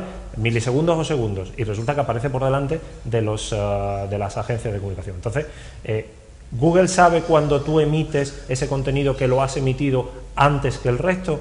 Eso también tiene, eso también tienes que tienes que planteártelo. Y luego una recomendación para todos los periodistas, que, que- que creo que hay alguno, siempre la digo, pero hay una herramienta que se llama Copy Escape, C-O-P-Y escape, que te permite saber quién te está plagiando el contenido, porque muchas veces el problema es que gente sin tu conocimiento y sin pagarte te está plagiando y saliendo por encima de ti. Entonces eso sí que es un problema grave, ¿no? Con esta herramienta que es una versión gratuita y una versión de pago, también puedes ir controlando. eh, de hecho, Marca, por ejemplo, por poner un- el típico ejemplo, Marca pu- publica una noticia y a la media hora ya está copiada en 10, en 10 millones de blogs por ahí, o sea, pero copiada literalmente. Pues esta herramienta te dice incluso qué partes han copiado de tu página web. Entonces, bueno, también se puede usar para, por lo menos para que te pongan un enlace y, y- que tú seas el autor y con el tiempo aparezcas el primero. Pero claro, habría que ver cu- cuánto page run tiene tu página, cuán- muchas cosas. Hay una otra parte más, el tema del contenido asociado, es decir, lo que han comentado antes de temas de UGC. Si resulta que la página web de destino tiene 800 comentarios indexados por Google con un contenido totalmente diferente, eso es contenido que se le asocia a tu artículo. Entonces tú dices, no, es que mi artículo está copiado aquí, vale, pero es que ese tiene 800 comentarios hablando de lo tuyo. está aportando un valor. Está un valor aportando, está aportando ese valor de UGC. Es que no es solamente es lo emito yo, lo copian y ya está. Hay mucho. Bien, vamos a continuar. Yo iba a decir que entramos en el segundo bloque y que va a ser mucho más interesante, pero llevamos 45 minutos con el primer bloque. Entonces vamos a intentar a ver si lo hacemos un poco más dinámico, ¿vale? La sexta pregunta, ¿qué red social, esto también es casi un poco de bola mágica, ¿no? ¿Qué red social nos aporta mayor valor para hacer un buen SEO? Google Plus. La broma, ¿no? Google Plus, eh, Facebook no, no vale entre comillas para nada, entre comillas, eh, y Twitter, aunque no mejora tu SEO, pero sí que mejora mucho la indexación. Por ejemplo, tú pones en Twitter un enlace a un artículo tuyo, a una sección tuya, y el robot de Google que está indexando continuamente Twitter dice, ostras, La Vanguardia, por decir su ejemplo, La Vanguardia eh, ha publicado un especial sobre el Madrid-Barça, pues enseguida te lo, te lo indexa. ¿Qué red social aporta mayor valor? Pues no lo sé, pero cada una es, un poco distinta. Y bueno, ya está. ¿Tú, Fernando? mí- Fernando. Para mí, de entre todo lo que hay, Twitter. Por una cuestión de que eh, el enlace eh, que suelta Twitter es un enlace que tiene no follow, pero después hay otra serie de agregadores de contenido, como por ejemplo Topsy, eh, como por ejemplo, bueno, una serie de agregadores de contenido que los enlaces son follow, con lo cual. Sí, nosotros hemos usado también igual Twitter en estrategias de indexación. Para zonas profundas de una web donde vemos que no está indexando bien y que en un momento dado nos interesa que se destaque más, eh, digamos que tratamos de generar tweets y retweets donde estamos compartiendo varias veces el mismo enlace para animar a la araña a, indexar esa parte y a posicionarla. Eh, por compartir, eh, Rand Fishkin compartió algunos experimentos que ellos habían hecho y en cuanto a posicionamiento parecía que aportaba una diferencia temporal, una mejora temporal de posicionamiento los likes en las páginas públicas de Facebook de empresa. Pero en, en experimentos que hab- habían hecho que yo no he comprobado. Muy bien. ¿Alguna cuestión sobre esta pregunta? Saltamos a la séptima. ¿Qué enlaces son más relevantes en redes sociales? ¿Un enlace publicado por alguien reconocido de esa temática o un enlace compartido por muchos usuarios no reconocidos?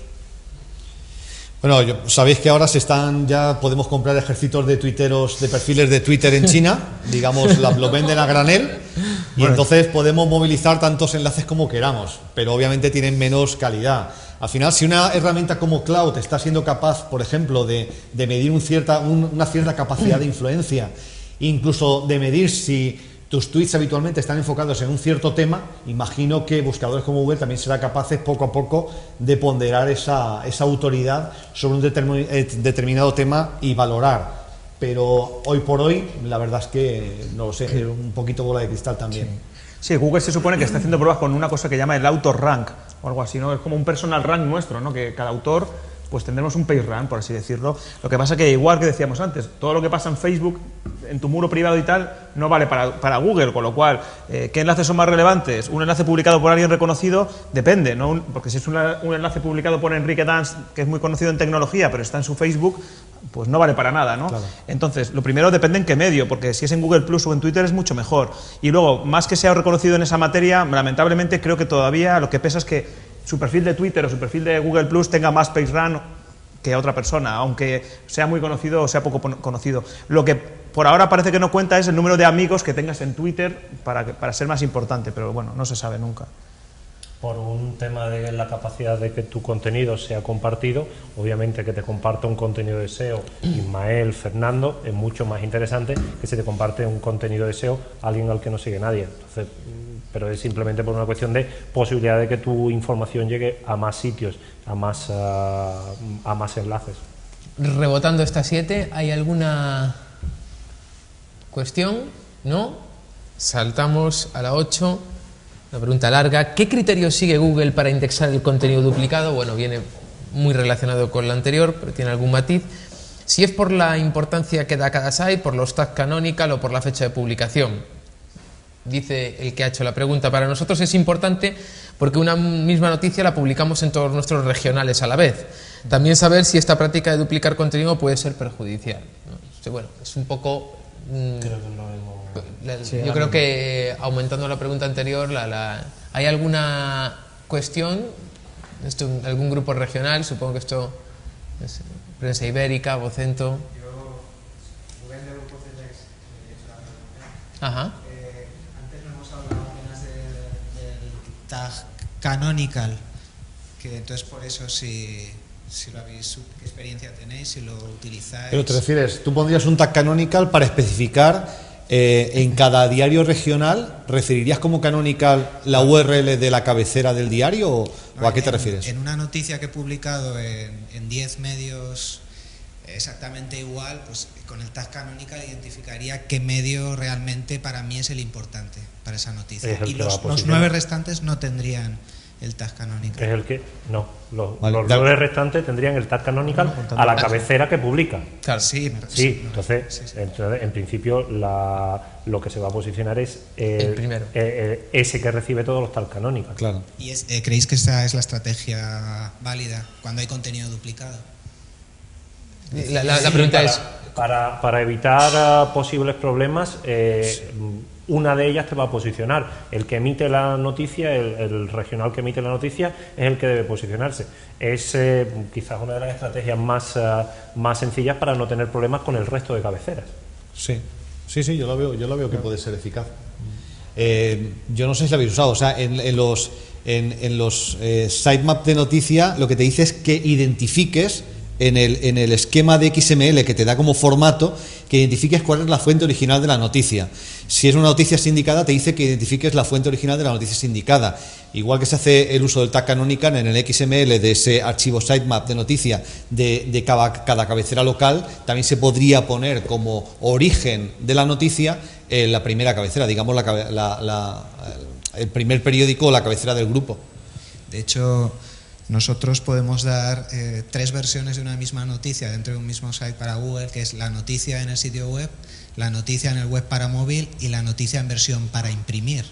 Y el texto es exactamente el mismo.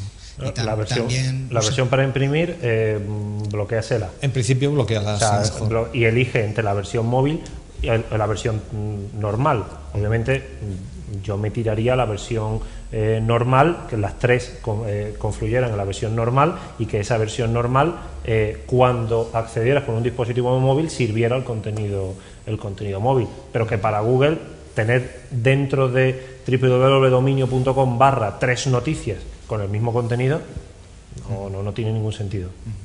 Desde el punto de vista de Google, ¿vale? Desde de usuario, todo lo que quiera, sí. Desde el punto de vista de Google, no. Pero yo el tag canonical lo veo, sí, para ese uso que estáis haciendo yo lo veo adecuado, salvo que alguien aquí diga que lo ha usado y ha tenido un mal, mal efecto. Pero yo lo veo adecuado porque al final estás siendo honesto con Google y decir, sé que esta noticia la repito en un montón de dominios o de subdominios o de eh, distintas cabeceras, pero realmente la original y la que se debe posicionar es una sola. Yo creo que con eso puedes contribuir a que esa sola se posicione mejor para venga la búsqueda de donde venga, es decir, la vas a favorecer en lugar de disgregar eh, popularidad entre muchas URLs distintas. Gracias. Vamos a saltar a la pregunta número 9. Quería preguntarles también por las buenas prácticas a seguir cuando a lo largo del día vamos modificando el titular de una noticia, ya que este se encuentra en, en la URL, bueno, en la X, en la URL X. ¿vale? Y la pregunta es, ¿deberíamos ir montando redirecciones 301 desde las URLs antiguas hacia las URLs del titular más reciente? Bueno, esto es una, una pregunta con enjundia técnica, sobre Mm. todo por las redirecciones 301, que es su- A mí, me ha sorprendido, sensible, ¿no? a mí me ha sorprendido mucho el planteamiento de esta noticia porque en principio vamos a ver, una noticia se puede ir actualizando, eh, pero si actualiza la noticia, mi recomendación básica sería no cambies la URL. La URL déjala desde el principio y no la cambies. Es decir, que haya variado ligeramente el, el tópico de la noticia no justifica que varíes la URL porque ahí es- tendrías, te obligaría a hacer una gestión de redireccionamientos 301, pero además eh, tú Constante, dependes de la actualidad, Claro. es decir, no tienes tiempo para que eso funcione bien. Entonces yo mantendría la URL estable e iría actualizando solamente el contenido dentro de la propia, de la propia página. Vamos a rebotar porque a lo mejor Pero es que es un comentario, esto le pasaba a un medio de comunicación y le funcionaba muy bien. El problema que tenías al cambiar el, cambiar el título, entonces el, perma- el rewrite te cambiaba la URL, te redirigía a la, a la anterior URL para evitar contenido duplicado, pero te indexaba antes que limpiar la caché. Con lo cual tenías dos resultados antes para el mismo contenido que uno te redirigía al otro. Dos o tres.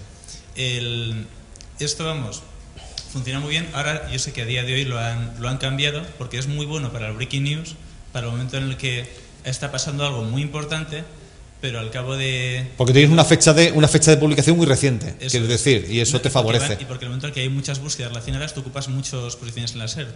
Pero luego, el, como has tenido muchas redirecciones, las páginas nunca tienen una fuerza demasiado... Claro, entonces claro. no, no siembras. Tienes múltiples redirecciones, yo lo veo problemático a largo Y también hay que tener en cuenta cuando haces una redirección 301, el servidor se resiente. O sea, no- evidentemente, si es tu blog o es una cosita pequeña, no, pero si eres el país o el mundo, o cualquiera de los que estéis aquí, que no lo sé, eh, que tienes cientos de millones de, de visitas y estás metiendo cada día miles de redirecciones 301, pues al final el de sistemas, ¿no? que suele ser el que sufre esto, pues también te, vuelves un poco loco, ¿no?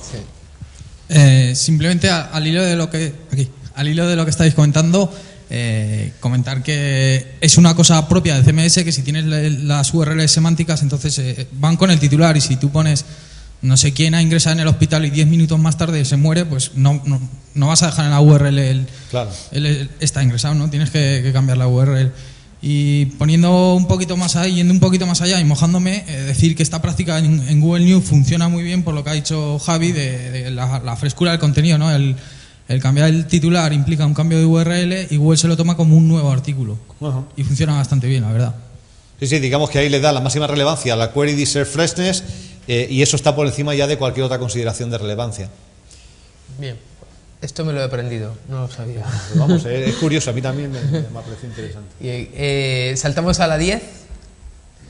¿Qué impacto tienen los microformatos en el posicionamiento y en el caso de los medios, qué recomendaciones debemos seguir? Bueno, esta es una pregunta un poco especial porque los microformatos los medios, mm, si se ven desde la óptica de medios solo noticias generalistas, a veces te choca un poco, ¿no? Porque los microformatos están más cercanos, pero no tenemos que olvidar que los medios también tienen carteleras de cine, agendas de servicios, ¿no? donde los microformatos pues son, son muy interesantes, ¿no? Ismael, Pues saltas.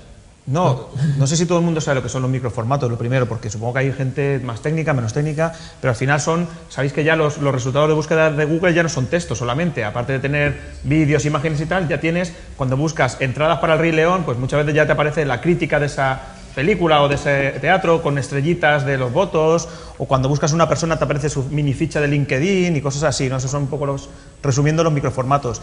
Entonces, eh, lo que yo he comprobado que en Estados Unidos funciona muy bien y en España no funciona tan bien, o sea, Google todavía, porque tú no puedes obligar a Google a que tu noticia te la ponga con estrellitas o con microformatos, tú lo puedes hacer, pero luego Google tiene que determinar a qué sitios les pone las estrellitas y a qué sitios no les pone, ¿no?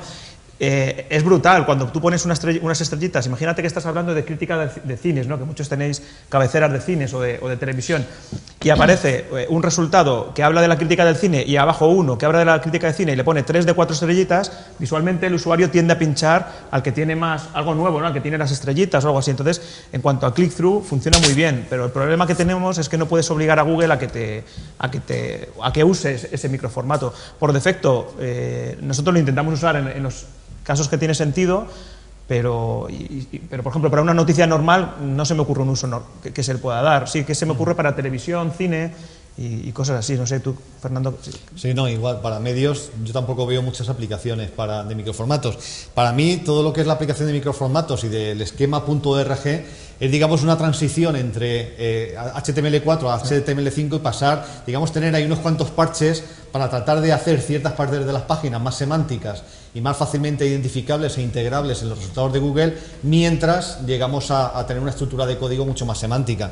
Pero a nivel de lo que son publicaciones de noticias, mm, tampoco lo hemos visto aplicado claramente. En agendas y tal, efectivamente, o críticas de restaurantes y tal, sí que tendría, todo lo que tenga, eh, por ejemplo, adres, restaurantes, eh, cines, etcétera, sí tendría aplicación, pero en lo que es contenido, eh, contenido habitual de noticias no lo vemos. Para las guías locales, quizás, ¿no? También. Sí. Bueno, de hecho, quien, no sé por aclarar, eh, supongo que mm, casi todos, son, obviamente, de los que están aquí sí que saben lo que es esquema ORG, pero ahí sí que hay más información para la aplicación, está toda la información para la aplicación de los, de los microformatos, ¿no? Sí. ¿Hay alguna cuestión? Sí, una cuestión, Rubén Vara de Antena 3. No, respecto, creo que lo habéis comentado en este punto. ¿no? Yo creo que el tema de los microformatos aplicado a las marcas de televisión sí que tiene un carácter, sobre todo diferenciador desde el punto de vista de marketing. Hablo ya de marketing de búsqueda. Es decir, eh, el hecho de que tú pongas el barco y ya te aparezca el barco con una foto, logotipo de la serie, con la descripción, personajes, con todos esos elementos que te permiten incluir los microformatos, puede tener sobre todo un elemento diferencial en cuanto a que encontrar una imagen en los resultados de búsqueda de Google es muy valioso, porque es todo texto normalmente, normalmente, ¿no?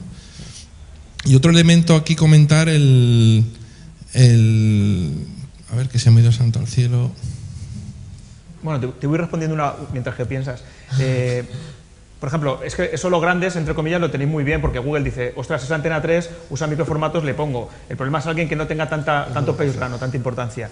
Y no tiene tanto que ver con, con microformatos, pero hablando de imágenes, yo siempre lo digo, soy un poco repetitivo, pero muchas veces el 10 o el 15% de tu tráfico viene de Google Imágenes. Entonces, eh, muchas veces el problema que tienen los medios es que tienen imágenes muy buenas, pero que no las dan a conocer, ¿no? O que no las etiquetan bien. ¿Y cuántos, no voy a preguntar, ¿no? Pero cuántos de vosotros podéis mirar una noticia y, y al nombre de la imagen de esa noticia la han llamado, pues, 0584-small.jpg, ¿no? En vez de llamarle, pues, Rajoy-presupuestos. Eh, entonces, eh, es una pena que muchas veces solo nos, nos ocupamos del texto. Cuando hablamos de contenido, quizá por deformación profesional, la gente piensa que el contenido es solamente escrito, ¿no? Cuando un contenido es un vídeo, es una infografía muy importante en el día de hoy, o es una, o es una imagen. Nada más. Rubén, ¿te has acordado? No hace falta, no. No, no te has acordado. Pues seguimos entonces con la... Ahí- ah, ahí sí, había bueno, otra. perdón.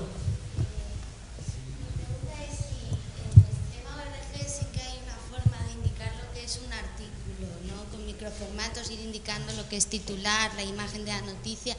Entonces mi pregunta es si realmente introducimos eso, ¿creéis que puede ser bueno para el posicionamiento o es mejor no invertir recursos en, en incluir el microformato en noticias? Lo que no puede ser es malo, o sea, eso está claro, ¿no? O sea, ya desde el punto de vista estético de tu, de tu página y de cómo está organizada.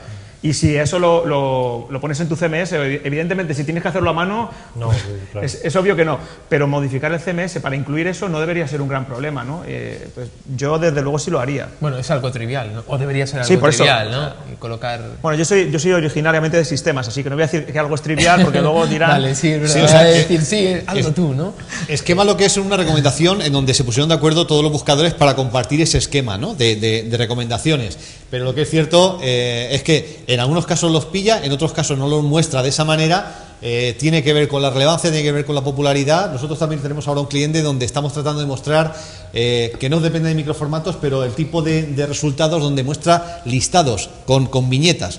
Y en ocasiones los muestra, en ocasiones no. Los parte cuando tú tienes una lista, un UL o un OL, o también tienes una tabla de resultados, y hay veces que sí lo muestra como lista y otras veces que no, y no está todavía muy claro qué es lo que hay que hacer para que sí que lo muestre así o que no lo muestre de, esa forma. Saltamos a la número 11, eh, una pregunta que es casi un caso personal, ¿no? Teníamos sitios con PageRank 6 y 7, Google nos penalizó bajando a PageRank 2 y no hemos notado caída en audiencia. Por lo tanto, ¿qué impacto tiene el PageRank en el Google actual? Eh, yo, de mi punto de vista, no, confundiría eh, la barrita verde que se ve en la barra de, de herramientas de Google con realmente el componente de, eh, de relevancia que le da Google a la popularidad y que desde mi punto de vista siempre ha tenido un papel importante en, la- en el cálculo de relevancia del algoritmo de Google y hoy en día lo sigue teniendo. Pero no debemos, no debemos confundir eso con El cuánto de barrita verde vemos iluminado, ¿no? Eh, a mí me imagino que esto es un cierto tipo de medios que en su, en su pie de página eh, se dedicaban a vender enlaces. A nosotros nos vinieron algunas de las empresas que en el año 2007, si no recuerdo mal, perdieron PageRank eh, cuando empezaron a, a- a detectarse, digamos, este tipo de enlaces comprados. Y de mi punto de vista, Google hizo dos cosas. Primero, mostrar un valor de PageRank inferior al que de todas maneras ellos tienen interiormente en el cálculo de relevancia de los contenidos. Es de decir, que podría llegar a tener 6 y 7 a lo mejor Exacto, interno. están mostrando eh, externamente un valor de PageRank que después internamente no es el que están aplicando en el cálculo de relevancia, pero ese valor de PageRank que está mostrando externamente quizás sí es el que están aplicando o en absoluto a los enlaces salientes de esos enlaces, porque las empresas que les había pasado esto habían bajado de PageRank 6 a PageRank 4 a PageRank 3 digamos de un mes para otro también. Luego, quizá en el cálculo de cuánta popularidad se estaba yendo por esos enlaces, sí que bajaron que- la relevancia a las empresas externas, pero ellas han seguido con la misma relevancia interna en cuanto a eh, posicionamiento de la página, ¿vale?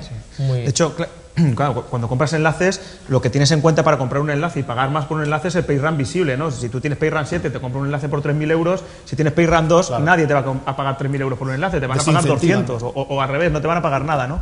Eh, entonces, eh, no hay que confundir el PayRAN visible con, con la popularidad que tenga tu página, ¿no? Con el PayRAN interno. Y luego... eh, yo te hablo hace tres años que trabajaba como responsable de buscador de Microsoft. Había una cosa que se hacía cuando pillabas tramposos, entre comillas, ¿no? Trampo- Ahí habrá que hablar si eso es trampa o no, porque tú al final es tu medio y tú vendes enlaces. Si te los compran y te pagan 3.000 euros es genial, ¿no? No lo sé, ¿no?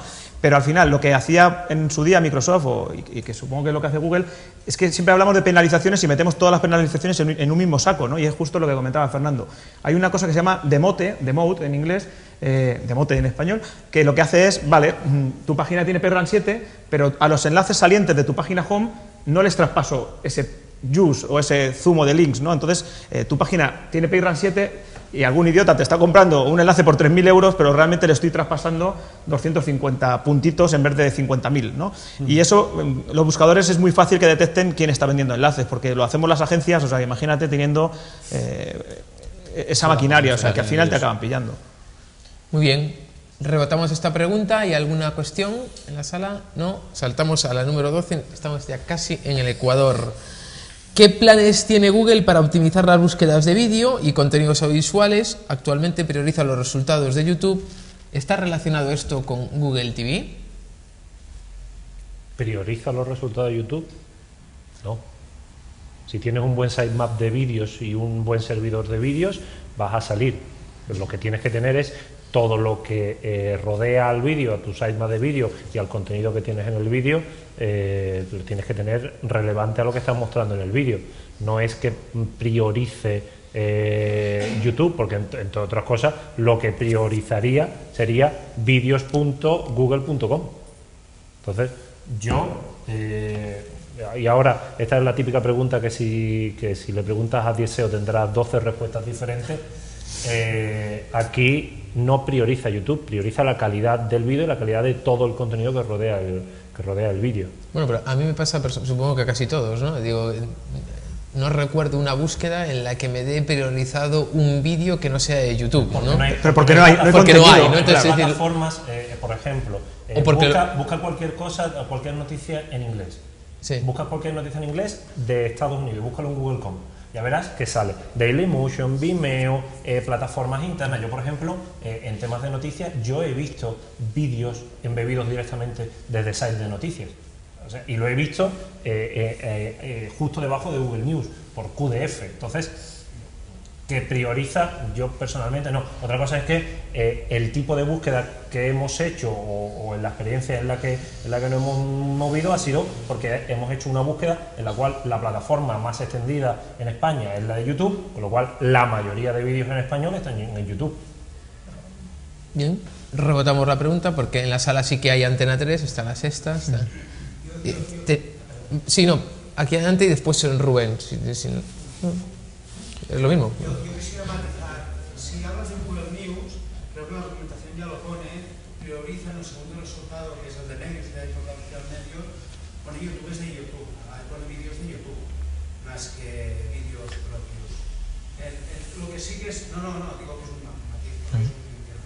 Lo que pasa es que sí que parece que los vídeos los pongo más para abajo, ¿no? En la, en la, en la página de resultados, cuando son vídeos que hay muchos de vídeos propios y, y que salen, pero lo ponen un poco más abajo, ¿no? Es lo que- Igual entonces que prioriza cualquier cosa que sea suya. El tiempo es suyo, los resultados de deporte son suyos. No en news, ¿eh? yo digo que en news, en, en la página de resultados. En Google News. Eh, Búsqueda de noticias. mm, normalmente Vosotros tenéis más, eh, más visto los resultados de Google News. Eh, yo te hablo en, tema, en temas de búsquedas eh, orgánicas. Búsquedas orgánicas, mm, te digo, mercado, mercado Estados Unidos no te ha priorizado. por- yo he visto muchas búsquedas eh, en otros. He visto lo, lo que os comentaba. Yo he visto eh, vídeos embebidos en plataformas por ejemplo, vídeos de, de Antena 3, de Telecinco y de... eh, había otra otra televisión, ahora no lo recuerdo, eh, embebidos y, y el enlace era, el vídeo está en www. El, el dominio, no en YouTube. Rubén. Después lanzamos. Es, es que nos da la sensación de que eh, el tema de Google relacionado con el vídeo está haciendo cambios, experimentos y muchísimas modificaciones. Esta pregunta la, la lancé yo lógicamente porque por nuestra experiencia viendo no solamente vídeos nuestros, sino vídeos de competencia, eh, un mismo vídeo subido en la plataforma de la página web y ese mismo vídeo subido en la plataforma de YouTube, Google en los resultados de búsqueda orgánica vinculado con noticias es capaz, bueno, lo, que suele hacer es lanzarte un enlace con apariencia de enlace a página web, firmada como enlace a página web, que puede ser antena3.com, pero que si pincho me lleva al canal de Antena 3 en YouTube. Aunque por, desde el punto de vista del usuario, la apariencia es que va a pinchar y va a ir a antena3.com. Entonces, eh, aunque sí que está yendo al canal de Antena 3 en YouTube, sigue priorizando ese, mis- ese resultado de búsqueda hacia su plataforma y no hacia una plataforma donde hay muchísimos más vídeos vinculados con ese contenido que en un momento determinado han tenido muchísima demanda. Pero vosotros tenéis un acuerdo firmado con Google, ¿no? Para ser canal premium y, y compartir ingresos, ¿o no? Sí. Entonces, eh, pues, intenta negociar con ellos, ¿no? No, hombre, N- no, entiendo pero que- que, al final, eh, es que Es nuestro, no, es, quiero decir que, que- que de- en Claro, definitiva, que discrepo sobre de que no optimiza. Porque en el caso de Televisión Española, que es una gran plataforma también de vídeo, desde mi punto de vista muy bien optimizada, desde el punto de vista de SEO también, le pasa exactamente lo mismo. Ante la muerte de Simoncelli en MotoGP, el vídeo en dos plataformas diferentes, YouTube, eh, Google te colocaba YouTube por delante de rtv.es. Pero, ¿y si tú fueras Google, cómo lo harías? Porque yo creo que debería ser YouTube, porque tiene más PageRank. No lo sé, ¿eh? No, o sea, pero- al final, claro, pero- es quién es el originario, quién, o sea, quién ha creado el contenido o quién es más popular, ¿no?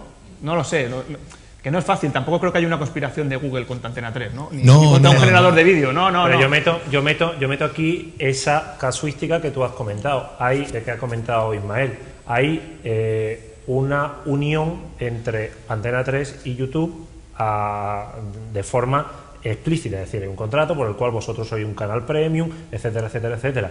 Que el problema eh, lo vería yo mucho más lógico en caso de que vosotros no tuvierais contenidos de YouTube subidos a YouTube y posicionar a los vídeos de YouTube por encima de vosotros, que sois Antena 3, con lo cual vuestra serie se emite primero en, eso, en, en antena3.com, en la, en la web de antena3.com. Claro, si subes el mismo contenido a YouTube, ahí hay algo que a nosotros, sin saber eh, condiciones de eh, premium, a, a mí, se me, a mí se, se me escapan, no hay condicionantes para que eso pase que, que- que- que- se me escapan. Yo como emisor de vídeos en YouTube o vídeos en mi propia página web, una priorización con respecto al canal de YouTube, la única respuesta es que Google, como buena empresa, lo que mira es su bolsillo y va, va- va a lanzar los enlaces a su propia página web, como está haciendo con vuelos, como está haciendo con viajes, como está haciendo con todo ese tipo de cosas.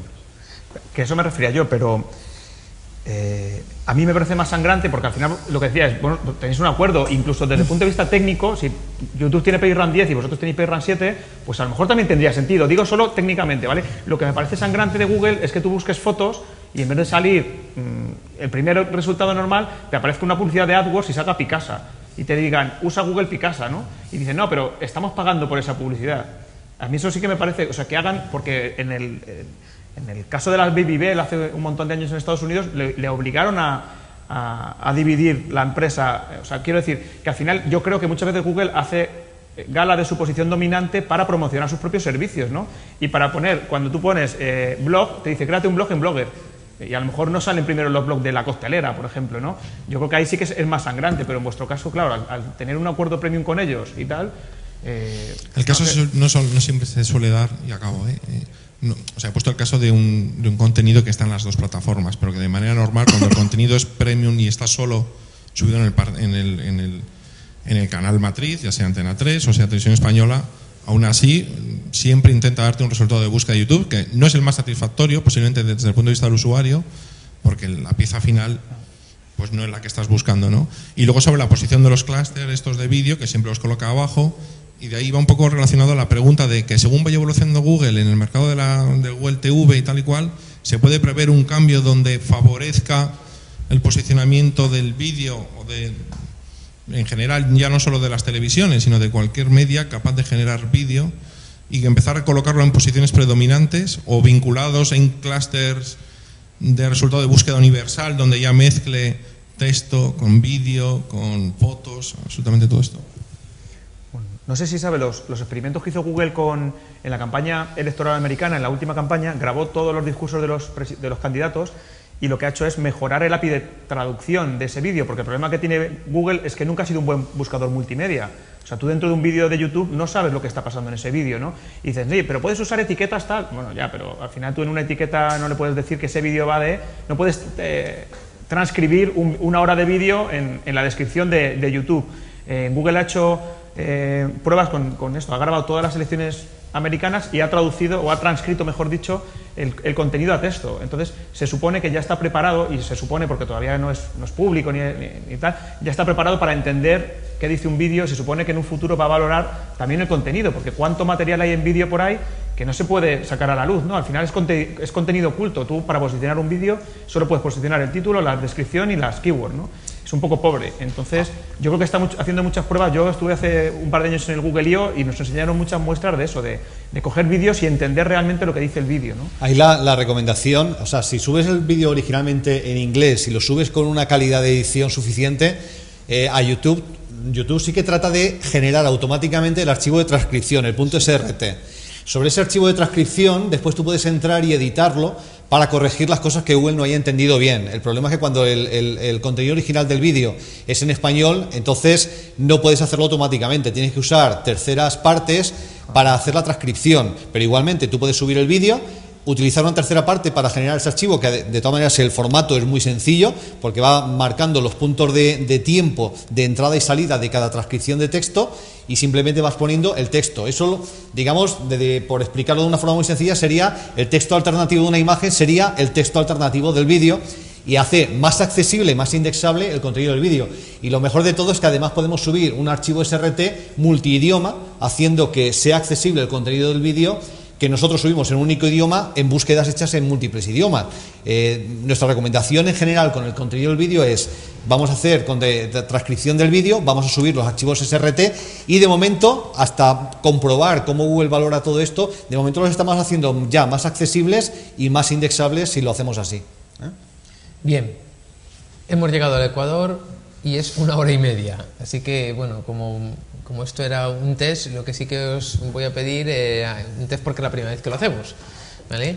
Para no desfallecer, vamos a intentar ser un poquito más ágiles en las pre- preguntas-respuestas para abordar estas, estas eh, 13 siguientes cuestiones. La tercera, Google lo niega, pero es cierto que sigue premiando el uso del transcribo, ¿eh? del suite de Google, yo interpreto ¿vale? que la persona que quiso hacer esta pregunta es, bueno, si, se utilizas, si tú utilizas eh, productos Google, AdSense, AdWords, Google Analytics, ¿vale?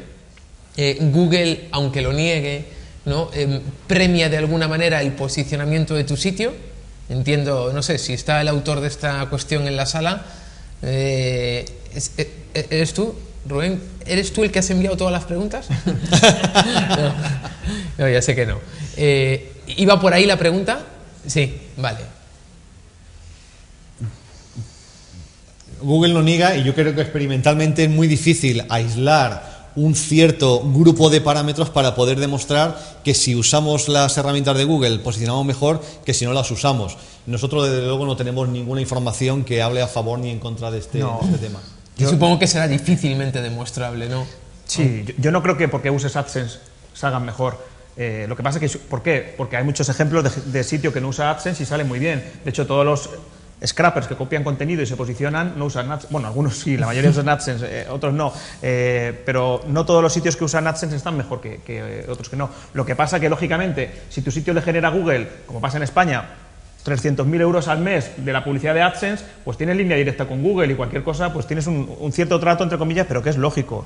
No, yo nunca he visto una relación de por qué alguien... Porque, por ejemplo, Analytics lo usa el 99% de la gente, con lo cual tampoco es... eh, No sería vinculante. no, no sería vinculante. Y en cuanto a AdSense, pues también casi todos los bloggers pues, lo suelen usar, pero yo, yo no he visto una relación que sea vinculante. Sí, causa efecto, ¿no? Si tú eres una marca grande tipo Vodafone o Movistar o, o Ono eh, y haces una búsqueda de móviles, pues siempre suele salir esa, no suele salir un blog de móviles, depende. Ok, saltamos a la pregunta número 14. ¿Qué impacto tiene Pinterest? Antes hablábamos, ¿no? Si salía alguna pregunta. ¿Qué impacto tiene Pinterest, la red social que está triunfando en Estados Unidos? Que es, eh, bueno, dato de esta mañana, ¿no? Es la, la que en los últimos 30 días la que mayor crecimiento ha tenido en Estados Unidos, ¿no? Claro, lógico, crecer de, de cero Bueno. a un poquito ya es un mil por cien. No, no, no, no, pero no, no por porcentaje, Ah, sino vale. la que más ha crecido en volumen, ¿vale? En volumen de usuarios, ¿no? O usuarios, porque no me fijé muy bien si hablaba del porcentaje de mujeres-hombres, pero eh, bueno, el caso es, ¿qué impacto tiene Pinterest en el posicionamiento de imágenes en los resultados de búsqueda? Esta es una pregunta que viene del grupo Hertz, ¿no? Y que tiene toda, vamos, eh, para vosotros entiendo que tiene toda la relevancia, ¿no? Y para el sector revistas, tenéis que tiene un peso tan importante la narrativa visual de las fotografías. ¿Habéis podido probar algo? ¿Nos pilla un verdes? Eh, sin centrarnos en Pinterest, sin centrarnos en Pinterest en, en particular. Cuando eh, una imagen se posiciona por la imagen en sí y por el contenido que la rodea. Si el contenido que la rodea, si tu imagen se publica no solo en tu web, sino que se publica en varios perfiles de otras redes sociales, tu, imagen va a ser mejor considerada. Con lo cual, si tu imagen eh, se publica en, esos, eh, eh, en estos perfiles, tu imagen va a verse beneficiada. ¿Cuál es el problema? ¿Cuándo, cuándo hay un problema? Cuando la imagen no es usada directamente desde tu servidor, sino es copiada en un fichero eh, aparte. Ahora eh, entra la parte de Google tiene que saber de esas dos imágenes que son iguales, cuál fue antes. Pero ya entramos ahí en otro, eh, eh, en meter más datos a la ecuación. ¿vale? Pero eh, Google ya sabe, tú por ejemplo, tú pones images.google.com, coges una foto de tu ordenador, lo arrastras y puedes ver si esa imagen que tú tienes en tu ordenador se ha publicado. Si se ha publicado exactamente, con el mismo formato te van a aparecer. eh, y entonces eh, te va a aparecer dónde está publicado. Eso lo suelen hacer, por ejemplo, los fotógrafos, para ver si sus propias pag- su propia fotografía la gente la ha copiado o no, o no la ha copiado y no les pagan royalty. Entonces, eh, desde el momento en el que tu fotografía desde tu servidor está colocado en otro contenido relevante, porque es- normalmente suele ser pins, suelen ser eh, bulks, donde hay mucho contenido eh, similar, un contenido de camiseta, un contenido no sé cuánto, es bueno. Es bueno. Ahora que el servidor lo aguante, bueno, todo, todo, todo eso.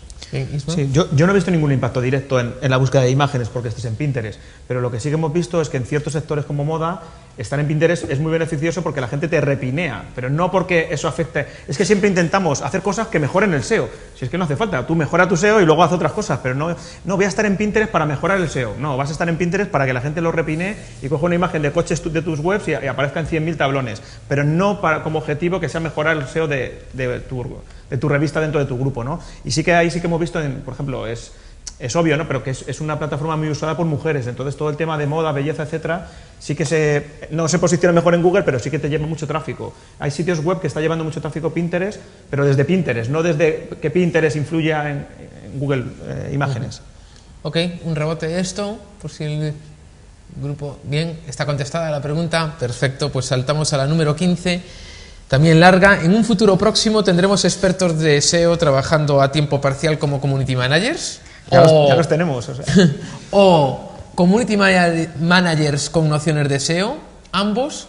¿Qué camino es más adecuado partiendo de perfiles de asistentes en casa? ¿Qué perfiles son los que hay que contratar en los próximos meses? Es una pregunta. Hola, soy de- señor Muñoz y si alguien me quiere contratar... Hombre, yo es que cuando- como cuando recibes un correo que te dice, o sea, un correo, un, un currículum que te dice soy SEO, SEM y social media y community manager. Y dices, joder, Leonardo, ha vuelto Leonardo da Vinci, ¿sabes? O sea, es, imposible. O sea, o eres SEO, a lo mejor eres SEO y SEM. No creo, porque a la gente que hace SEO no le gusta el SEM, ¿no? Siempre dicen, no, el SEO, el SEM es el, SEO de los tontos, dicen. No lo sé, ¿eh? yo digo, son rumores. Pero que no puede ser una persona muy técnica que sepa mucho de SEO y a la vez, porque el problema que está pasando ahora con los community managers es que cualquiera somos un community manager. Yo no soy community manager ni lo quiero ser porque para ser community manager lo primero que tienes que escribir bien. Y podéis decir qué tontería, ¿no? Todo el mundo que se dedica a community manager escribe bien. Joder, o sea, ponte a ver, siempre digo, los muros de Facebook muchas veces parecen muros de las lamentaciones. Hay una falta de ortografía brutales, ¿no? A lo mejor eso está bien para el SEO, para posicionar mis plugins y cosas así, pero yo no conozco ningún SEO que sea buen, buen community manager, ni viceversa. Lo que pasa es que, lógicamente, todo esto se, está confluyendo tanto y al principio decíamos, yo no creo en el SEO, creo en la visibilidad y al final tienes que dar visibilidad a tu contenido pues en ciertos sitios. Uno es Google, otro es Pinterest otro es Facebook, ¿no? Entonces, eh, lógicamente, un SEO tiene que saber cosas de social media y, alguien de social media en general tiene que saber cosas de SEO. Eh, más importante que para los community managers me parece para los redactores o para los, la gente que escribe, ¿no? tener conocimientos de SEO, pero básicamente ya no de SEO de cosas técnicas, sino de SEO copywriting, ¿no? de cómo escribir para los motores de búsqueda, que eso supongo que es un tema bastante polémico y de, debe priorizar mi titular o el titular que le gusta a Google y, otras cosas en las que no me quiero meter hasta que no lo pregunte alguien. ¿no? Yo creo que aquí hay perfiles que tienen competencias distintas. Es decir, un community manager tiene que tener unas competencias de comunicación, de empatía, de marketing muy claras, ¿no? Eh, y un SEO tiene que tener unas competencias técnicas también muy claras. Eh, y no es tan fácil. Lo que sí que es conveniente es que esos perfiles de distintos profesionales sean capaces de compartir un vocabulario común para entenderse, porque al final es importante que pueda haber, nacer una sinergia del trabajo conjunto. Es decir, en SEO se va a hacer mucho mejor trabajo si entendemos, si nos coordinamos y si encontramos sinergias con el trabajo hecho en, social media. Eh, y, y- y de la misma manera, es decir, ya no se pueden entender como eh, eh, espacios eh, herméticos, eh, todos tienen que colaborar eh, y, y cuanto más compartan el vocabulario y entiendan, mejor. Pero dudo que una única persona, y, y- y al final eso quieren las empresas además, que el SEO y el Community Manager sea el becario eh, y que aprenda de todo, puedan cumplir esos, esos, esos papeles con- eh, en un solo perfil, en una sola persona. Lógicamente, si eres una pyme, pues al final el SEO es el community manager, es el, es el CEO de la pyme, ¿no? Pero si es un medio, por ejemplo, es un poco absurdo eh, que el SEO se- es que aparte no, no- no te da la vida para tanto, ¿no? Muy bien, rebotamos la pregunta. ¿Algo o quedó claro? Esto es una pregunta más socio- social, ¿no? Venga, vamos a la Ah, y decía lo de qué perfiles contratar, pues perfiles que puedan cambiar, me refiero, o sea, perfiles que tengan un conocimiento, o sea, al final, ser tan o sea, si eres súper especializado en SEO, a lo mejor nunca vas a querer trabajar en un cliente, porque te vas a montar tu historia por tu cuenta y te vas a montar tu, tu negocio, ¿no? Pero al final, tener gente que sea un poco versátil, ¿no? Que no, yo es que solamente hago esta cosa tan, soy especialista en posicionar en Pinterest, joder, pues enhorabuena. Y, y serías un pin, no sé qué. Sí, serías un repineador o algo. pero- Yo, yo le- yo leí hoy que es- Froilanador, supinador y Yo leí hoy que eso ya está, ya tiene su término, se llama un pío. O sea, es el equivalente a SEO para Pinterest, es un pío. Es un, un pío. Pío, un pío, pío. Bueno, muy bien. Saltamos de pregunta a la 16. ¿Qué debemos hacer con los contenidos premium encerrado para que estén bien posicionados? ¿Qué les parece lo que hace The New York Times? Yo no sé exactamente lo que hace el New York Times. Lo que sí bueno, sé- lo que hace el New York Times básicamente es, bueno, eh, muy sencillo, ¿no? Eh, La- Las noticias que tiene cerradas en, en- en su parte de suscripción en realidad se indexan igualmente en, Google y el usuario lo que es accede a la página, es una página como de entrada, pero obviamente tiene que estar registrado para poder leer, ¿no? Entiendo que es es el igual que lo que se hacía antes cuando en un artículo lo, lo- lo, digamos lo troceabas Lo en tres trozos, lo fragmentabas, ¿no? Y te dejaban ver, yo recuerdo año 97, ¿no? Trozos de la PC World de, al principio, ¿no? En español y para después poder acceder al resto de, de contenidos. Uy, qué mayor soy ya. Esto es lo que se ha denominado el first, el first click free, el primer clic es gratis y digamos lo que dejas es en abierto, porque obviamente si tú quieres lograr suscriptores algo tendrán que ver como muestra de la calidad de contenido que tienes y de lo que lograrían acceder si se hacen suscriptores de ese contenido. Para digamos atraer y tener un buen escaparate tienes que dejar que Google indexe de forma que aumente las probabilidades de que los usuarios finalmente lleguen en algún momento a la página eh, vean calidad de contenido, puedan comprobar cómo tener una versión de demo o una versión de prueba de tu contenido en abierto. En abierto. El primer clic es gratis y a partir de ahí ya tienes que pagar. Entonces, a mí me parece bien, porque si tenemos el contenido cerrado y lo tenemos cerrado también por el buscador, es muy improbable que, que llegue un usuario y se arriesgue a contratar una suscripción de contenido sin haber tenido la oportunidad de asomarse un poquito y curiosear a ver qué es lo que va a conseguir a cambio de su dinero. Bien, bueno, yo creo que esta pregunta está... ¿Sí, Rubén? Yo es que no, no he acabado de entender bien cómo indexa Google contenido cerrado. Porque su- supuestamente tú no puedes ofrecer una versión de, de la página diferente para Google de la que ofreces para un usuario que navega.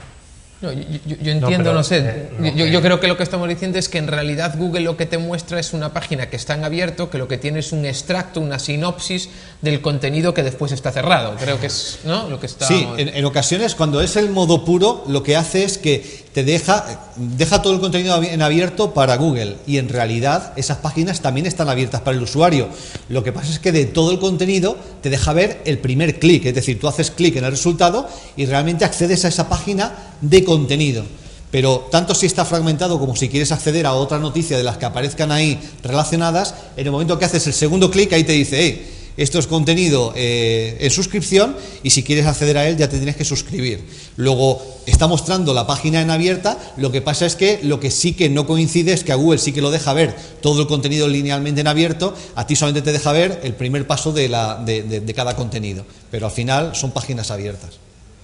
Sí, tenemos una pregunta ahí al fondo. Eso es. El resto de pasos es dentro de la web. Pero si yo vuelvo a buscar el titular en Google, un segundo titular que veo en la web vuelve a ser gratuito. A nivel técnico no sé si lo resuelven con cookies, no sé cómo lo resuelven a nivel técnico, ¿vale? Normalmente debería volvería otra vez a ser gratuito. De alguna manera lo que están haciendo es, a ti te interesa este medio y te interesa usarlo profesionalmente, digamos, eh, o personalmente viendo y poder navegar por el periódico de forma normal, tienes que pagar, pero el primer clic sería gratuito siempre. Bien, ¿sí? Sobre este tema, si, si no se puede posicionar normal, en el sitemap de Google News te permite indicar de que tú eres un medio Claro, digamos que es la única forma que te puede beneficiar ah, para, para posicionar un, un medio de pago, ¿no? un medio que el contenido es de pago, que es de suscripción. Hay una etiqueta muy fácil, tú lo pones y supongo que entonces puedes conseguir, porque por lo otro pues debe ser lo que cuesta mucho más, ¿no? Ujú. Muy bien, saltamos a la número 17. Vamos allá. Si quiero conseguir un buen posicionamiento, ¿qué factores debo trabajar con más intensidad? ¿Los internos o los externos? Los contenidos. Es decir, los internos. Los internos. Eh, vamos a ver. ¿Qué es lo que está pasando ahora con todos los que se caen? Que han hecho cosas fuera que eh, resulta... Cuando dices, perdona, todos los que se caen es después de Google Panda, por ejemplo, Google, Google Panda, los viajes. Google Panda y la última actualización de hace dos semanas y la última actualización de hace tres días. Eh, todos aquellos que bordeaban las guidelines de Google ofreciendo intercambio de enlaces, consiguiendo enlaces, todo ese tipo de cosas, eh, están cayendo. O sea, estaban bordeando esas guidelines. En el momento que Google ha hecho así y ha movido eh, la plataforma, han caído todos. Con lo cual, lo- la fuerza vuestra es el contenido. Yo trabajaría eh, arquitectura, velocidad del sitio, e indexabilidad y contenido de la web, es decir, trabajaría interno y el externo mm, no me, no, no me metería no me metería tanto. No, no es eh, en esas dos balanzas para vuestro medio, a lo mejor hay otro medio, hay otro tipo de, de empresas que sí necesitan trabajar el externo, pero para vuestro medio el interno claramente. Bien. ¿Alguna cuestión? Rebotando esta pregunta, no. Nos vamos a la siguiente. En los medios la forma narrativa y el estilo son marcas de libro de estilo.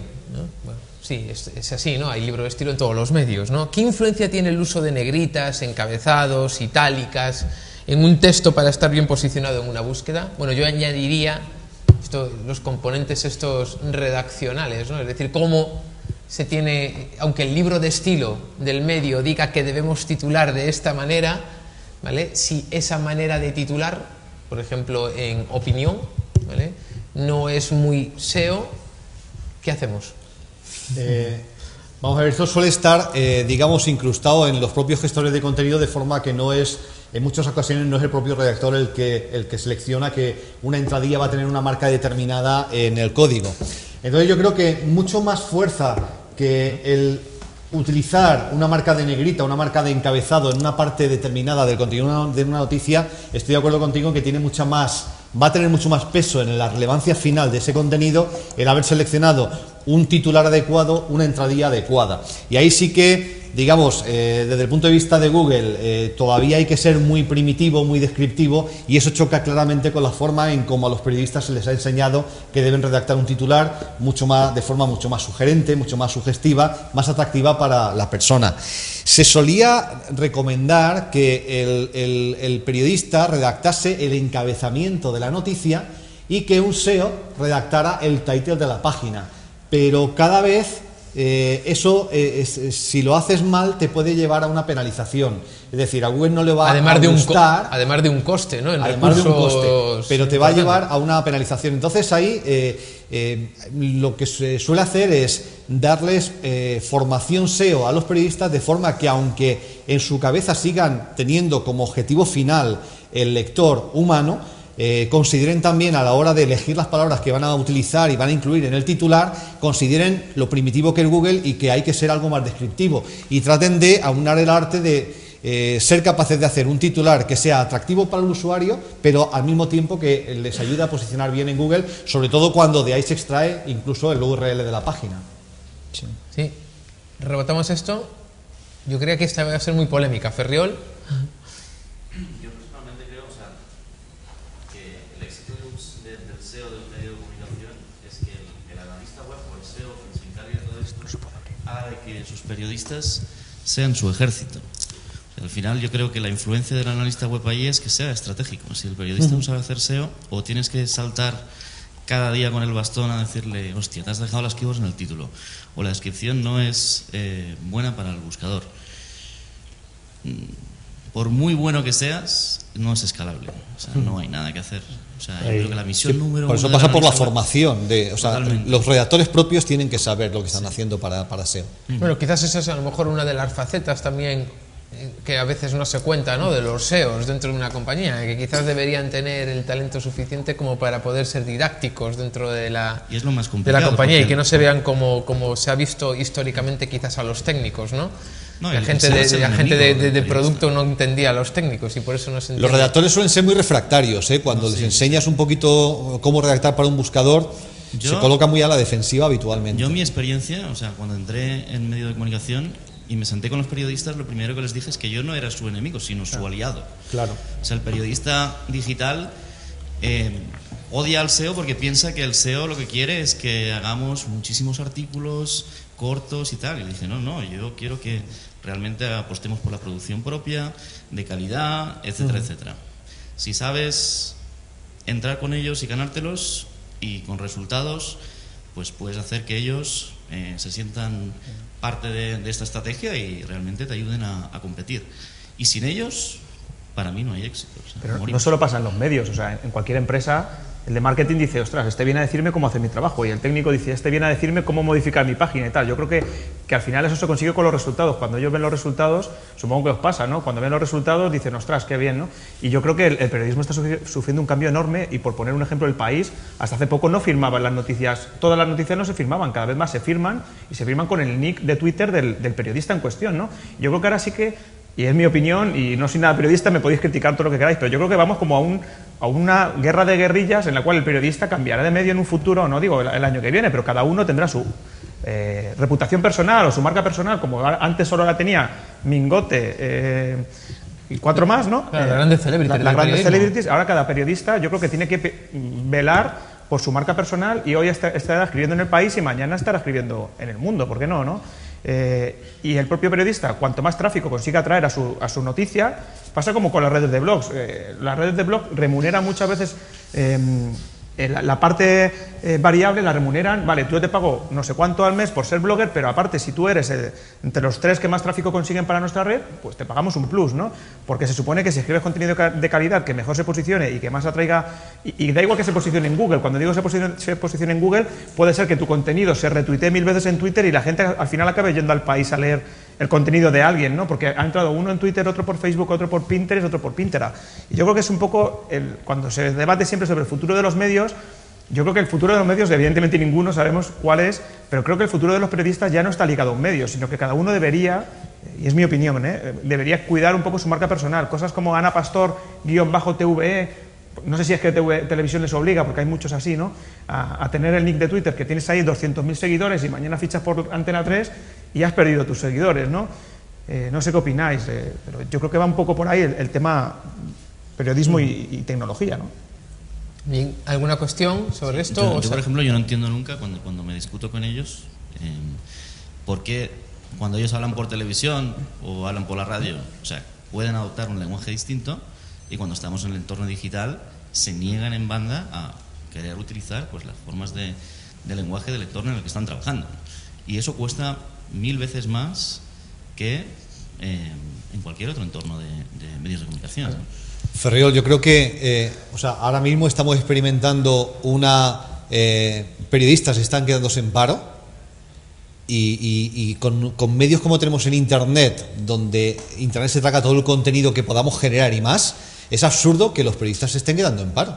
Necesitamos gente que genere buenos contenidos, pero gente que genere buenos contenidos para eso no para no nuevos medios, no vamos a llamarlos nuevos medios, pero tienen que entender que igual que tú dices, igual que entienden lo que es radio, igual que entienden lo que es incluso radio deportiva con un estilo distinto, lo que es eh, documental y lo que entiende se adapten al medio digital y sean capaces de generar buenos contenidos para el medio digital.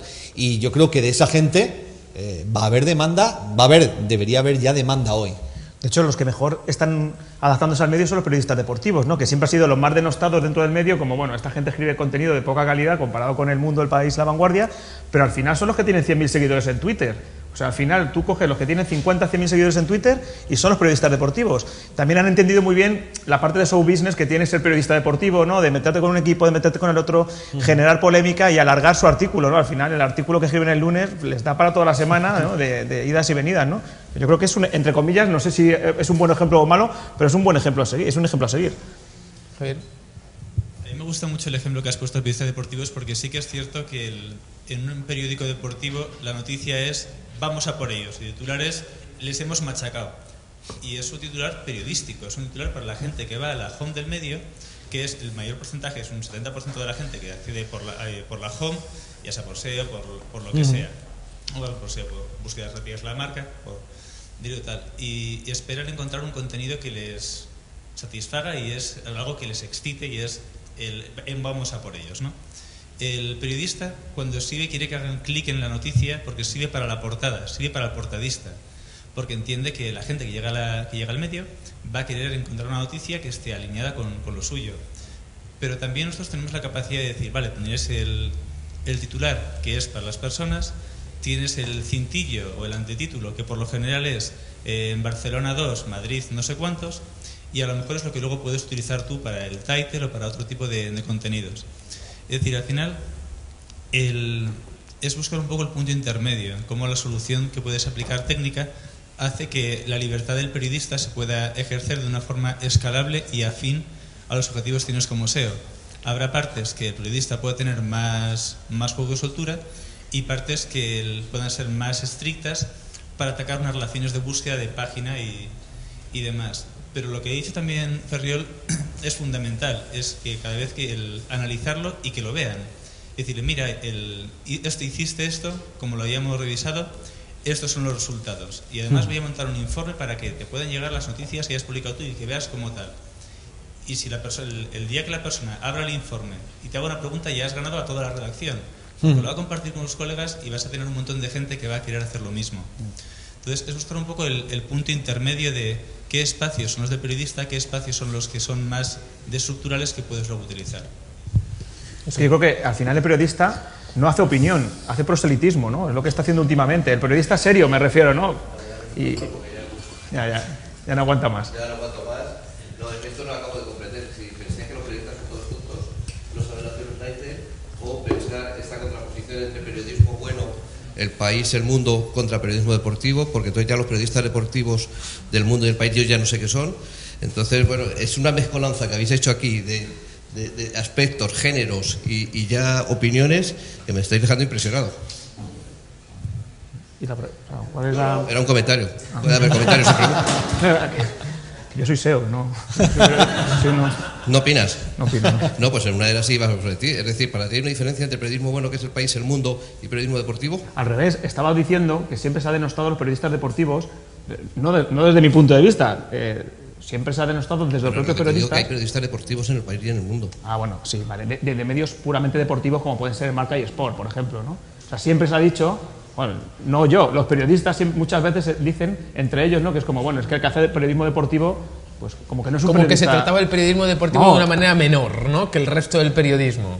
Menor, si ha sido el género casi estrella siempre. Pues esa es mi opinión, que son los que primero se han adaptado a los nuevos medios y los que más influencia, y son los, bueno, los únicos, no, pero ¿Crees que la prensa económica nos ha adaptado a la prensa generalista? ¿La prensa económica? ¿O la prensa generalista, te pregunto? ¿Crees que nos han adaptado? Hombre, han tardado mucho más. De hecho, hace, 10 años, hace menos de 10 años, en el país, en el suplemento del país decía los bloggers, los nuevos exhibicionistas. Y, hasta, y hace, hasta hace poco, o sea, ya hace poco abrieron blogs dentro del país para que cualquiera se pueda crear un blog. Pero hace menos de 10 años el país titulaba que los bloggers eran los nuevos exhibicionistas.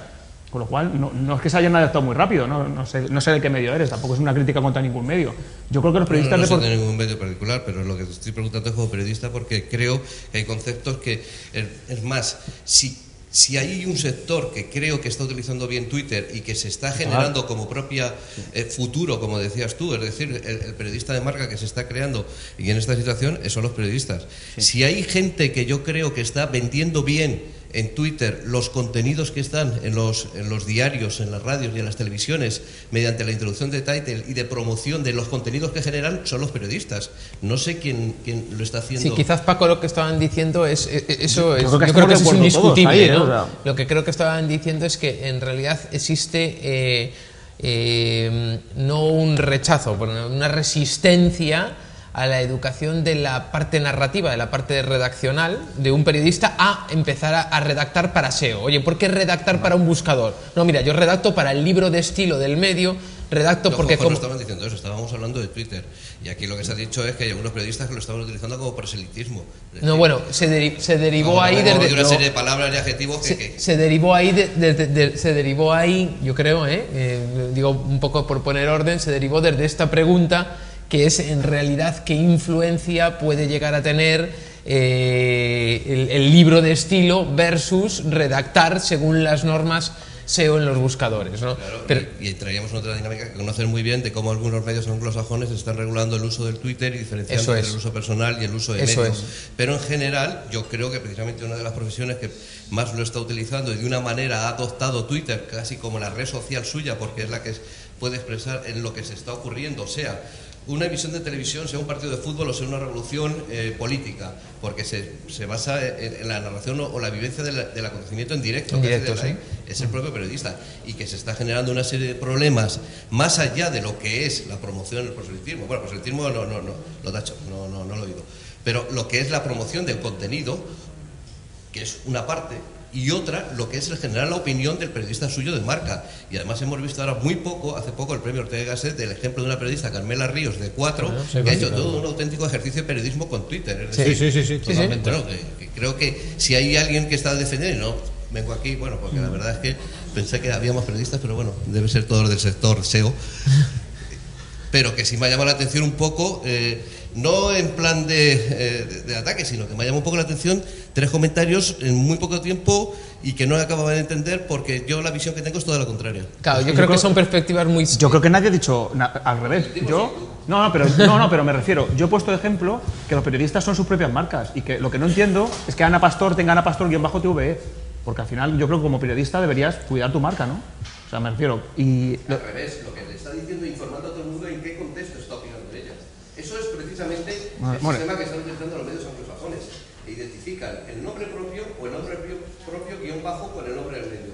Y de esa manera están intentando identificarse. Y hay algunos medios, ya por ejemplo Reuters o CNN o Washington Post, que han dicho que ni siquiera les vale eso. Que no- y que no pueden en ese publicar. momento desaparece la libertad del periodista de poder tener su Twitter personal. Porque siempre al final va a estar relacionado con el medio. Claro, digamos que el, el medio es al final el que también eh, sirve de escaparate, es decir, el periodista no sería quien es sin ese medio. Eh, el medio también exige. Ahí hay una discusión de a quién pertenece realmente el perfil, que es, podríamos estar hablando horas sobre Bueno, yo eso, creo que el, pero- el caso de éxito, entre comillas, eh, habrá gente a favor y gente en contra. Es Pedro J. Ramírez. O sea, de ser alguien totalmente agnóstico que hace tres años denostaba Internet, pues yo le he oído decir que Internet, que vamos, que Internet era lo peor, ahora es, vamos, usuario de Twitter, para mí tuitea últimamente muy bien eh, y se está metiendo, pero al principio empezó usando Twitter para promocionar Orbit, ahora directamente usa Twitter y lo hace muy bien y es como un caso de, ostras, alguien que hace tres años eh, iba en contra y Twitter se creó para técnicos y desde hace dos años lo han copado los periodistas y son los que mejor uso hacen. Yo, yo no creo que Pedro J. Ramírez eh, estuviera en contra hace tres años de Internet. Bueno, eso públicamente es lo que decía, no sé si estaba en contra Bueno, o no. yo, pero- yo- yo no- Yo le pregunto si todo el mundo punto es, había sido líder durante muchos años, pero J no creo que haya entrado en el ejemplo. Pero sí es verdad que ha dado un ejemplo de utilización como marketing y como información Sí, sí. y como opinión. Es decir, eh, pues, ha hecho yo creo por Orbit casi más que todas las campañas de marketing previas, pero también ha sido el que ha ido promocionando los informaciones, los editoriales, los artículos que iban a lanzar el periódico. Es decir, yo creo que ha sido un ejemplo maravilloso desde el punto de vista del el mundo como marca. Integrando, Sí, bueno. integrando Twitter en el periódico también de papel. O sea, que en el periódico de papel Bien. creo que fueron los primeros ¿no? que, que pusieron. Si, si me, si me permitís, eh, vamos a ver, estamos en la pregunta 18, yo creo que ya ha dado de sí, todo de sí, ¿no? Saltamos.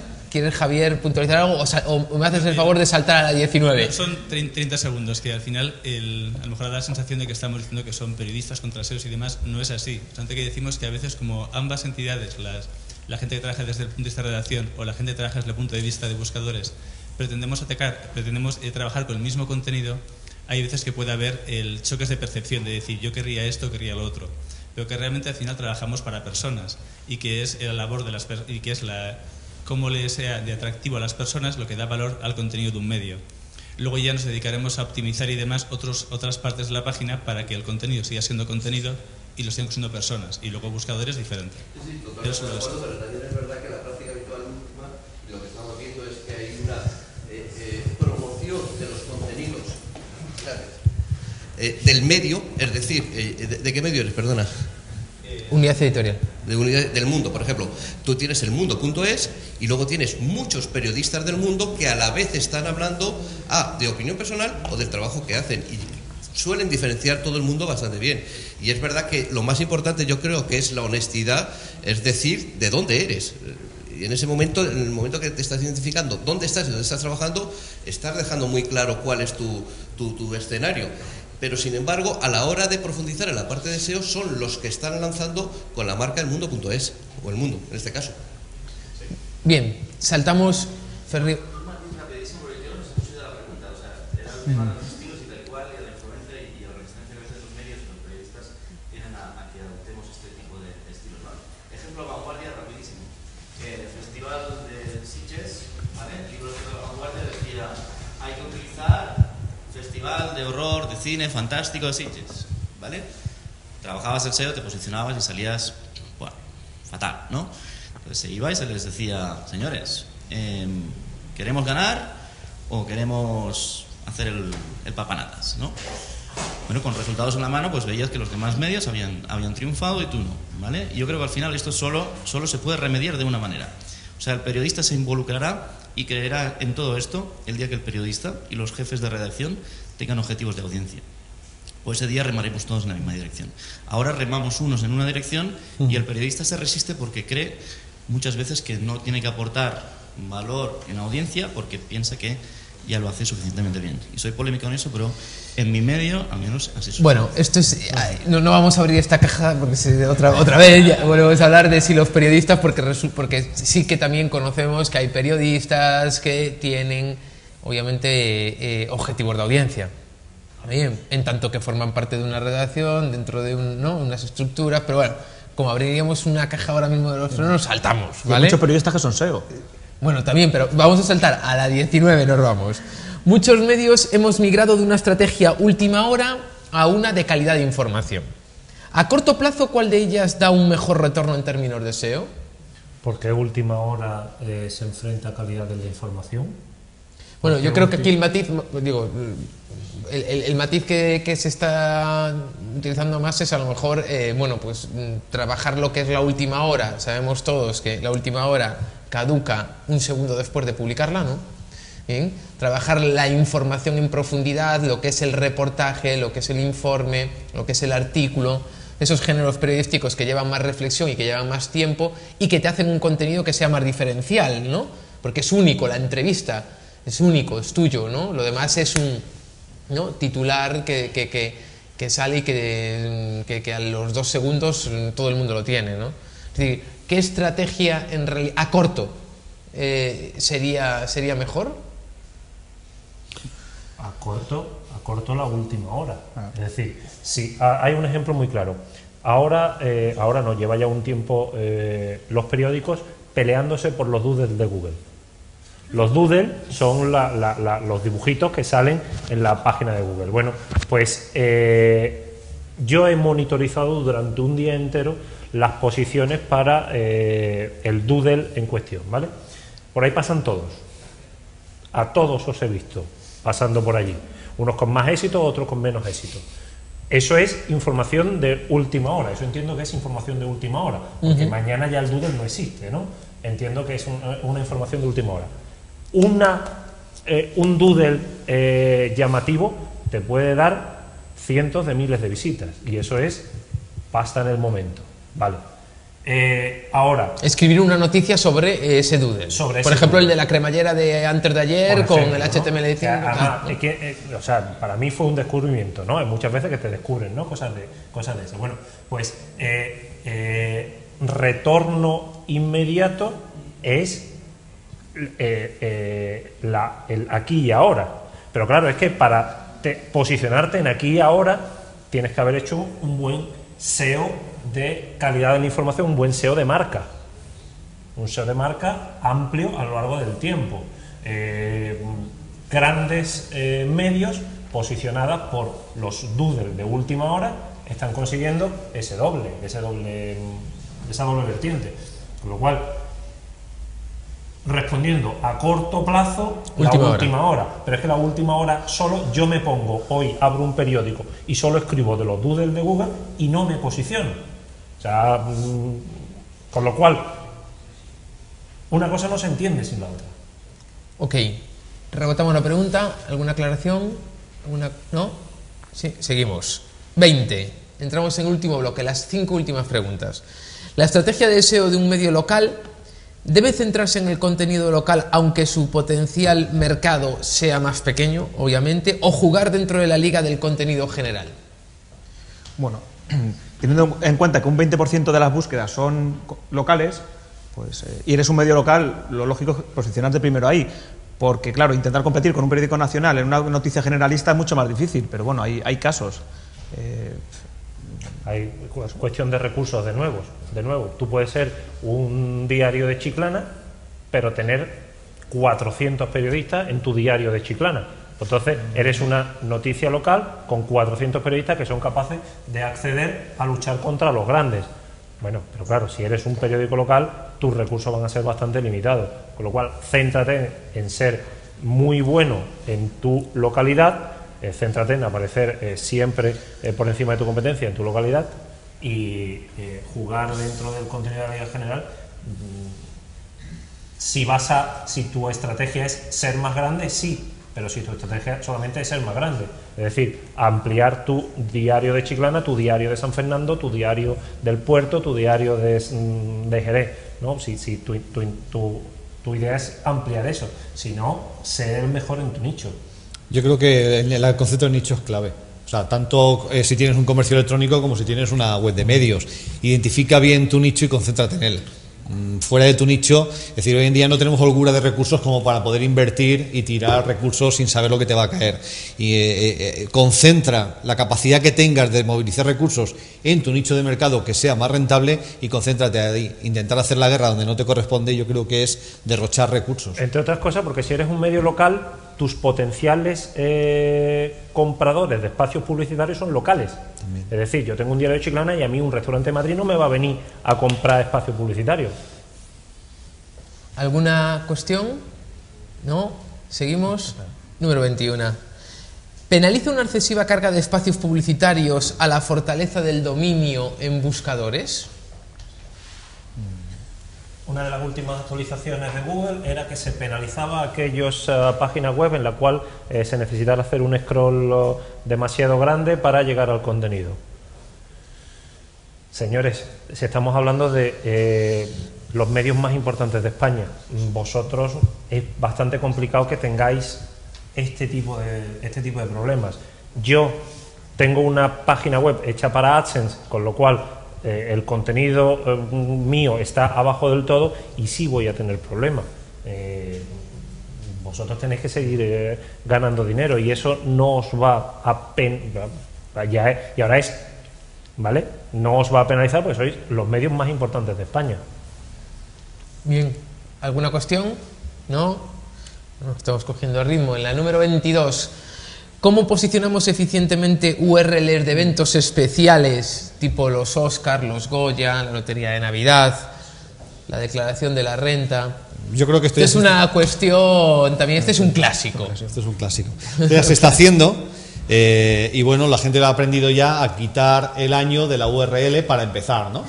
Entonces lo, lo esencial aquí es quitar el año de la URL para que la URL nos valga para el año que viene y guardarla mientras no nos sirve. Porque ya Pero tenemos bueno, posicionamiento, ¿no? Sí, yo el otro día estaba, estaba preparando una presentación y encontré las páginas, páginas posicionadas para el iPad eh, 4, para el iPhone 7 y para los resultados de la Lotería del Niño de 2014.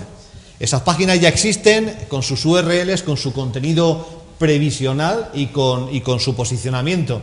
Y obviamente se trabaja de forma muy proactiva para trabajar con tiempo en posicionar esos contenidos con suficiente antelación. Eh, digamos, estos, eventos cíclicos que también en webs comerciales existen exactamente igual. Por ejemplo, los hoteles tienen también sus ciclos de demanda con los cuales se puede trabajar perfectamente. Sustituiríamos, por ejemplo, los Oscars con los puentes de no sé qué, el puente de no sé, de no sé cuántos, etcétera. Y es esencial tener una sección con una URL fija y mantener esa URL reciclando y refrescando la información cada, cada año, de forma que esa URL va, por una parte, eh, aumentando eh, el número de enlaces entrantes y su credibilidad en cuanto a ser una fuente relevante para ese contenido. Otra cosa sería si es ético o no, ¿no? Digo, si es Claro, ético, a veces si es ético estar posicionando claro. páginas web que estén hablando de la Lotería de Navidad del 2016, ¿no? Nadie va a buscar Lotería Nacional 2016 ahora tampoco. Sea, tú te Bueno, vas también es anticipando, cierto, tampoco. también es cierto, sí. Hoy sí, hoy sí, hoy habrá mucho. Buscando a ver hasta qué año están ya, ¿no? Bueno, todos los dominios.com para iPhone 9, iPhone 12 tal están todos Están comprados. todos ya comprados. Años. Rebotamos la pregunta. ¿Algo? ¿Algún matiz sobre esto? ¿No? Vale, pues pasamos a la número 23, que es ¿cuánta importancia tiene el peso de la página en su mejor o peor indexación de Google? ¿Hay algún peso recomendado? Peso estamos hablando de, ¿no? Pues siempre se decía que eran como 100K o algo así, pero esto son cosas de hace 10 años. Yo creo que el problema que antes la velocidad de conexión era muy, muy corta, pero ahora cualquiera tiene, entre comillas, una DSL y yo tampoco he visto, esto que dicen que hay que mejorar la velocidad de carga, yo tampoco he visto unas grandes diferencias. Lógicamente, si tienes una página que tarda un minuto y medio en cargar, es que el propio usuario no va, no va a aguantar para verla, pero no es que Google te vaya a penalizar, no sé, no he visto tampoco... Bueno, pero sí que yo- había escuchado que por encima Sí. de 1.5 segundos en carga en página, Pero que al final- estábamos hablando, por cuestión de en realidad no es penalización, ¿no? Sino es Pero al, al final, el robot de Google, imagínate que está en California y tu página está en Madrid. Sí. Eh, a lo mejor solamente el retraso que hay, no sé, eh, es tan difícil todo y tan abstracto. Yo creo que muchas veces son globos sonda y, so- y al final son mejoras. Si tu página web carga más rápido, pues mucho mejor. Pero no creo que nadie te vaya a penalizar porque tu página tarde 1,6 segundos en vez de 1,5. ¿no?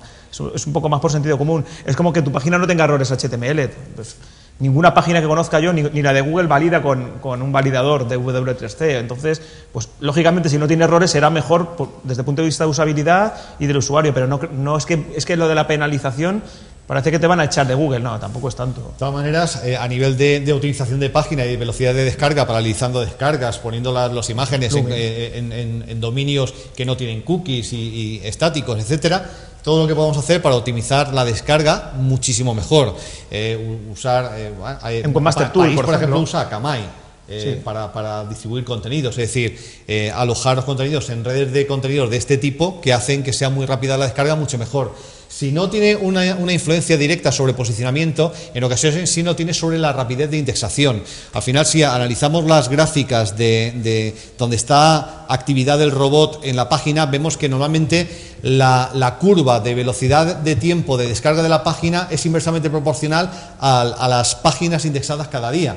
Eh, si tenemos webs con millones de páginas, como suelen ser las de los medios, cuanto más rápido funciona la- el, el servidor, Google va a tener más tiempo en el, en el tiempo que dedica a analizar nuestro sitio web a refrescar la información eh, e indexar un número mayor de páginas de nuestro sitio.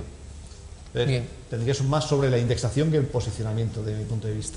¿Alguna consideración sobre esta pregunta? Nos vamos a la penúltima, la número 24. La mejora que ofrecen programas como Autonomy a la hora de categorizar contenido y facilitar la navegación compensa la inversión. Entiendo que es compensa la inversión de Autonomy, ¿no? Como sabemos, pues estamos hablando de, cosas mayores, ¿no? Son licencias deben ser importantes. Eh, yo estuve eh, analizando un poco cómo estaban organizadas las bibliotecas y a mí lo que me da pena es que los medios generan muchísimo contenido, pero si analizamos eh, y comparamos el total de páginas indexadas que tiene un sitio web de un medio y el total de URLs distintas, landing pages SEO en el último mes, vemos que el porcentaje de páginas que consiguieron al menos una visita en comparación con el total de páginas indexadas eh, digamos, guarda muy poca proporción. En general es un porcentaje muy pequeño. Son estructuras muy piramidales, muy verticales, donde los contenidos rápidamente pierden actualidad y se van hundiendo en la arquitectura y hace que ya pierdan mucho posicionamiento. Mejorar las hemerotecas yo creo que es una asignatura pendiente en la mayor parte de medios donde yo las he analizado, donde están organizadas eh, en ocasiones por calendarios, por fechas de publicaciones, algunos tienen pequeños clústeres de contenidos en torno a términos con potencial, pero yo en general, los las que he visto, no creo que se le esté sacando toda la rentabilidad que se podría a todo el contenido en hemeroteca en, un- en los medios online. Y yo creo que ahí hay mucho trabajo todavía por hacer, en mi opinión. ¿eh? Bien. ¿Algo que comentar? La inversión en Autonomy, en Autonomy parece ser bastante elevada. eh, por, la pregunta ¿no? muy específica en, en Autonomy. Pero el, tema de eh, agrupar contenidos, eh, lo que ha comentado de Fernando de Cruces de información, te permite acceder a búsquedas que normalmente en circunstancias normales no tendrías. Por ejemplo, no es lo mismo buscar la última noticia de la última declaración del presidente de gobierno que buscar la palabra Mariano Rajoy, que es el gran eh, déficit de muchos de los medios hoy en día. Tiene muchísima información relacionada con un determinado eh, persona, evento o, o- o categoría de, de- de información, pero no consigue posicionar porque no le saca el partido que tiene a toda esa información. Mm. Yo creo que es más eh, hacia donde hacia donde eh, ten- tendría que mirarse la, la- inversión. Si términos como Mariano Rajoy, que normalmente eh, eh, un medio no va a posicionar, a no ser que sea en la zona de noticias, yo si pudiera aprovechar toda la información que tenéis cualquiera de vuestros medios para un determinado tema, yo la aprovecharía, por supuesto. Que no siempre el uso de una herramienta te, te facilita las cosas y de hecho cuanto más cara es, como pasaba con Viñet, creo que Terra, su primera versión eh, estaba hecha con Viñet, licencia mínima un millón y medio de euros y, y tenía unas URLs con 18 números, con lo cual al final usar Autonomy, usar Viñet o usar cualquier otro gestor, si no cumple unas mínimas normas que todos sabemos también, eh, no, no vale para nada. No te voy a preguntar a ti por Viñet, eh, Juanjo, No, pero, no. pero sabes a lo que me refiero. Sí, efectivamente. Bueno, yo no elegí Viñet. Eh, nos vamos a la última. Hemos llegado hasta el final. ¿En qué deben variar los sitemaps de noticias respecto a los sitemaps estándar? ¿Y cómo podemos aprovechar el Editor Speak para generar más tráfico a nuestra web? Yo quizá lo he adelantado ya antes un poquito. Digamos, la recomendación que nosotros hemos hecho respecto a los sitemaps de noticias es incluir únicamente el contenido original. Si ponemos contenido eh, sindicado expresar en donde corresponde que el contenido es indicado y después tratar de mm, tener el tino de eh, elegir como editor speak la, aquellas noticias que realmente mayor potencial de tráfico tengan. Herramientas como, como Google Keyword Tool o tal, quizá nos permiten anticipar respecto a lo que ha pasado años anteriores qué cosa se va a poner de moda en qué momento y anticipar que un tema determinado puede tener potencial. Pero vamos, me imagino que ya los periodistas que son los que están en contacto constante con la, con la actualidad no necesitan ni siquiera de ello para anticipar que algo realmente va a ser lo que la gente va a buscar. Lo que sí que es importante es darse de alta en Google News y aprovechar todas estas estructuras para eh, generar muy bien los sitemaps de noticias y salir bien posicionado en Google News. Muy bien, rebotamos esta última pregunta. ¿Nadie se anima a preguntar? ¿Sí? ¿Y al fondo?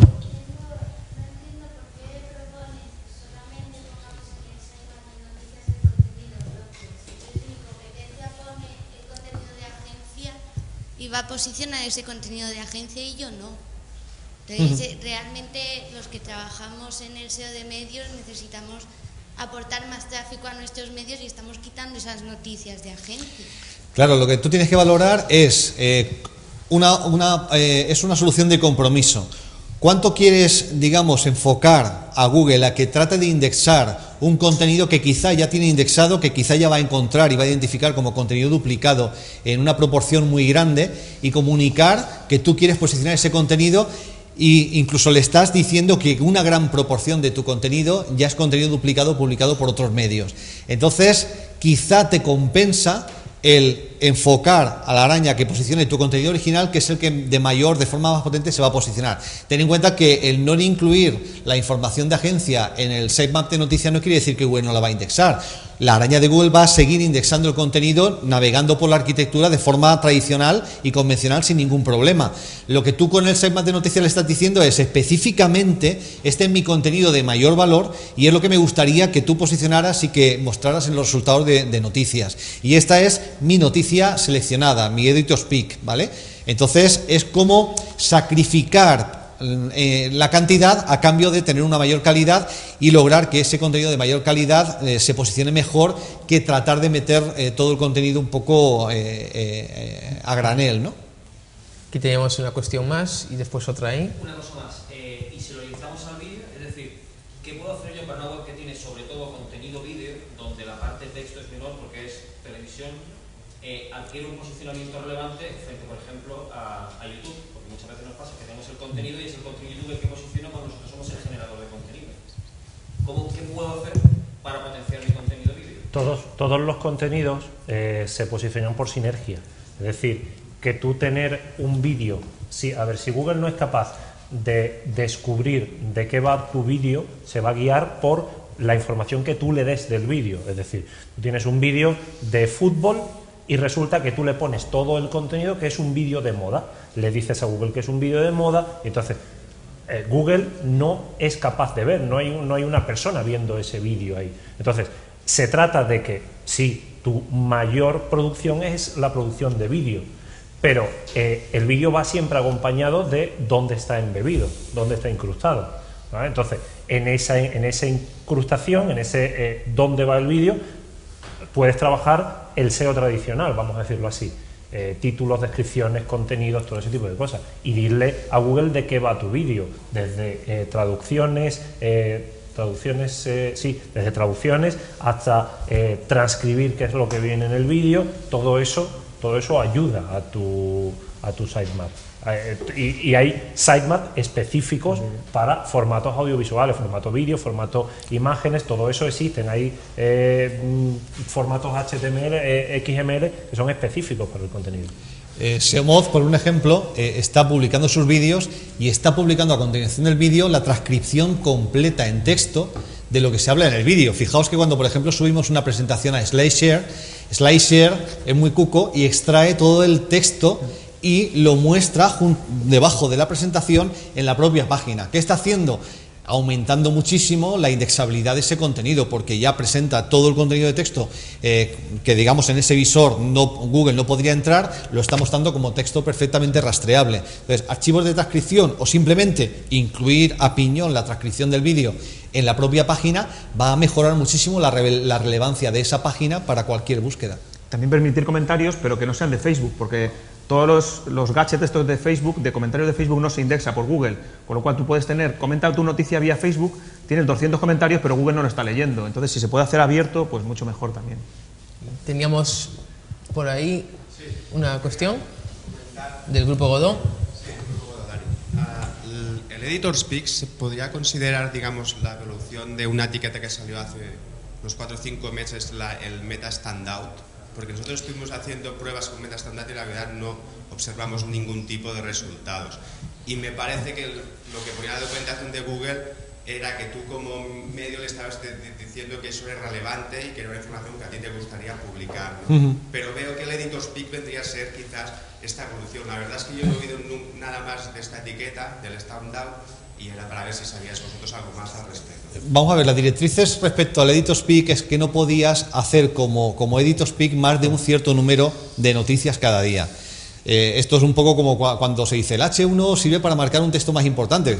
Marcamos todo como H1. Deja de ser relevante porque no has seleccionado.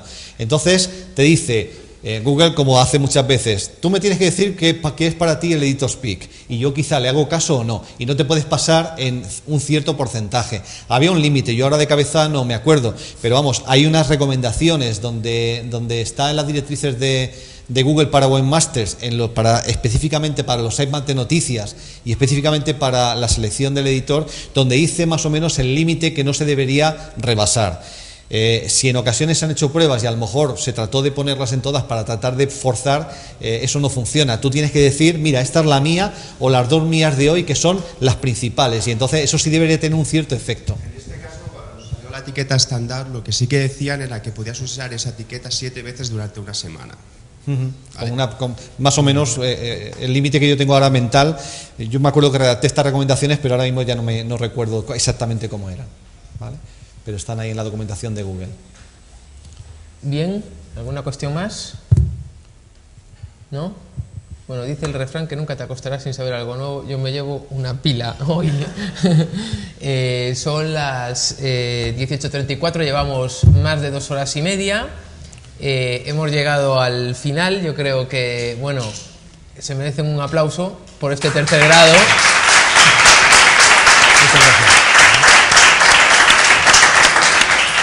Bueno, muchas gracias Fernando Muñoz, Fernando Macía, Ismael El Cusi. Hasta aquí ha Gracias. llegado el primer foro de Medioson temático, de 25 preguntas, 25 respuestas sobre SEO.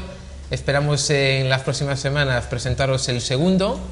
También esperamos que os haya gustado y ahora pues tenemos un área de networking en el que podemos pues charlar más distendidamente. Gracias a todos. Muchísimas gracias. Muchas gracias.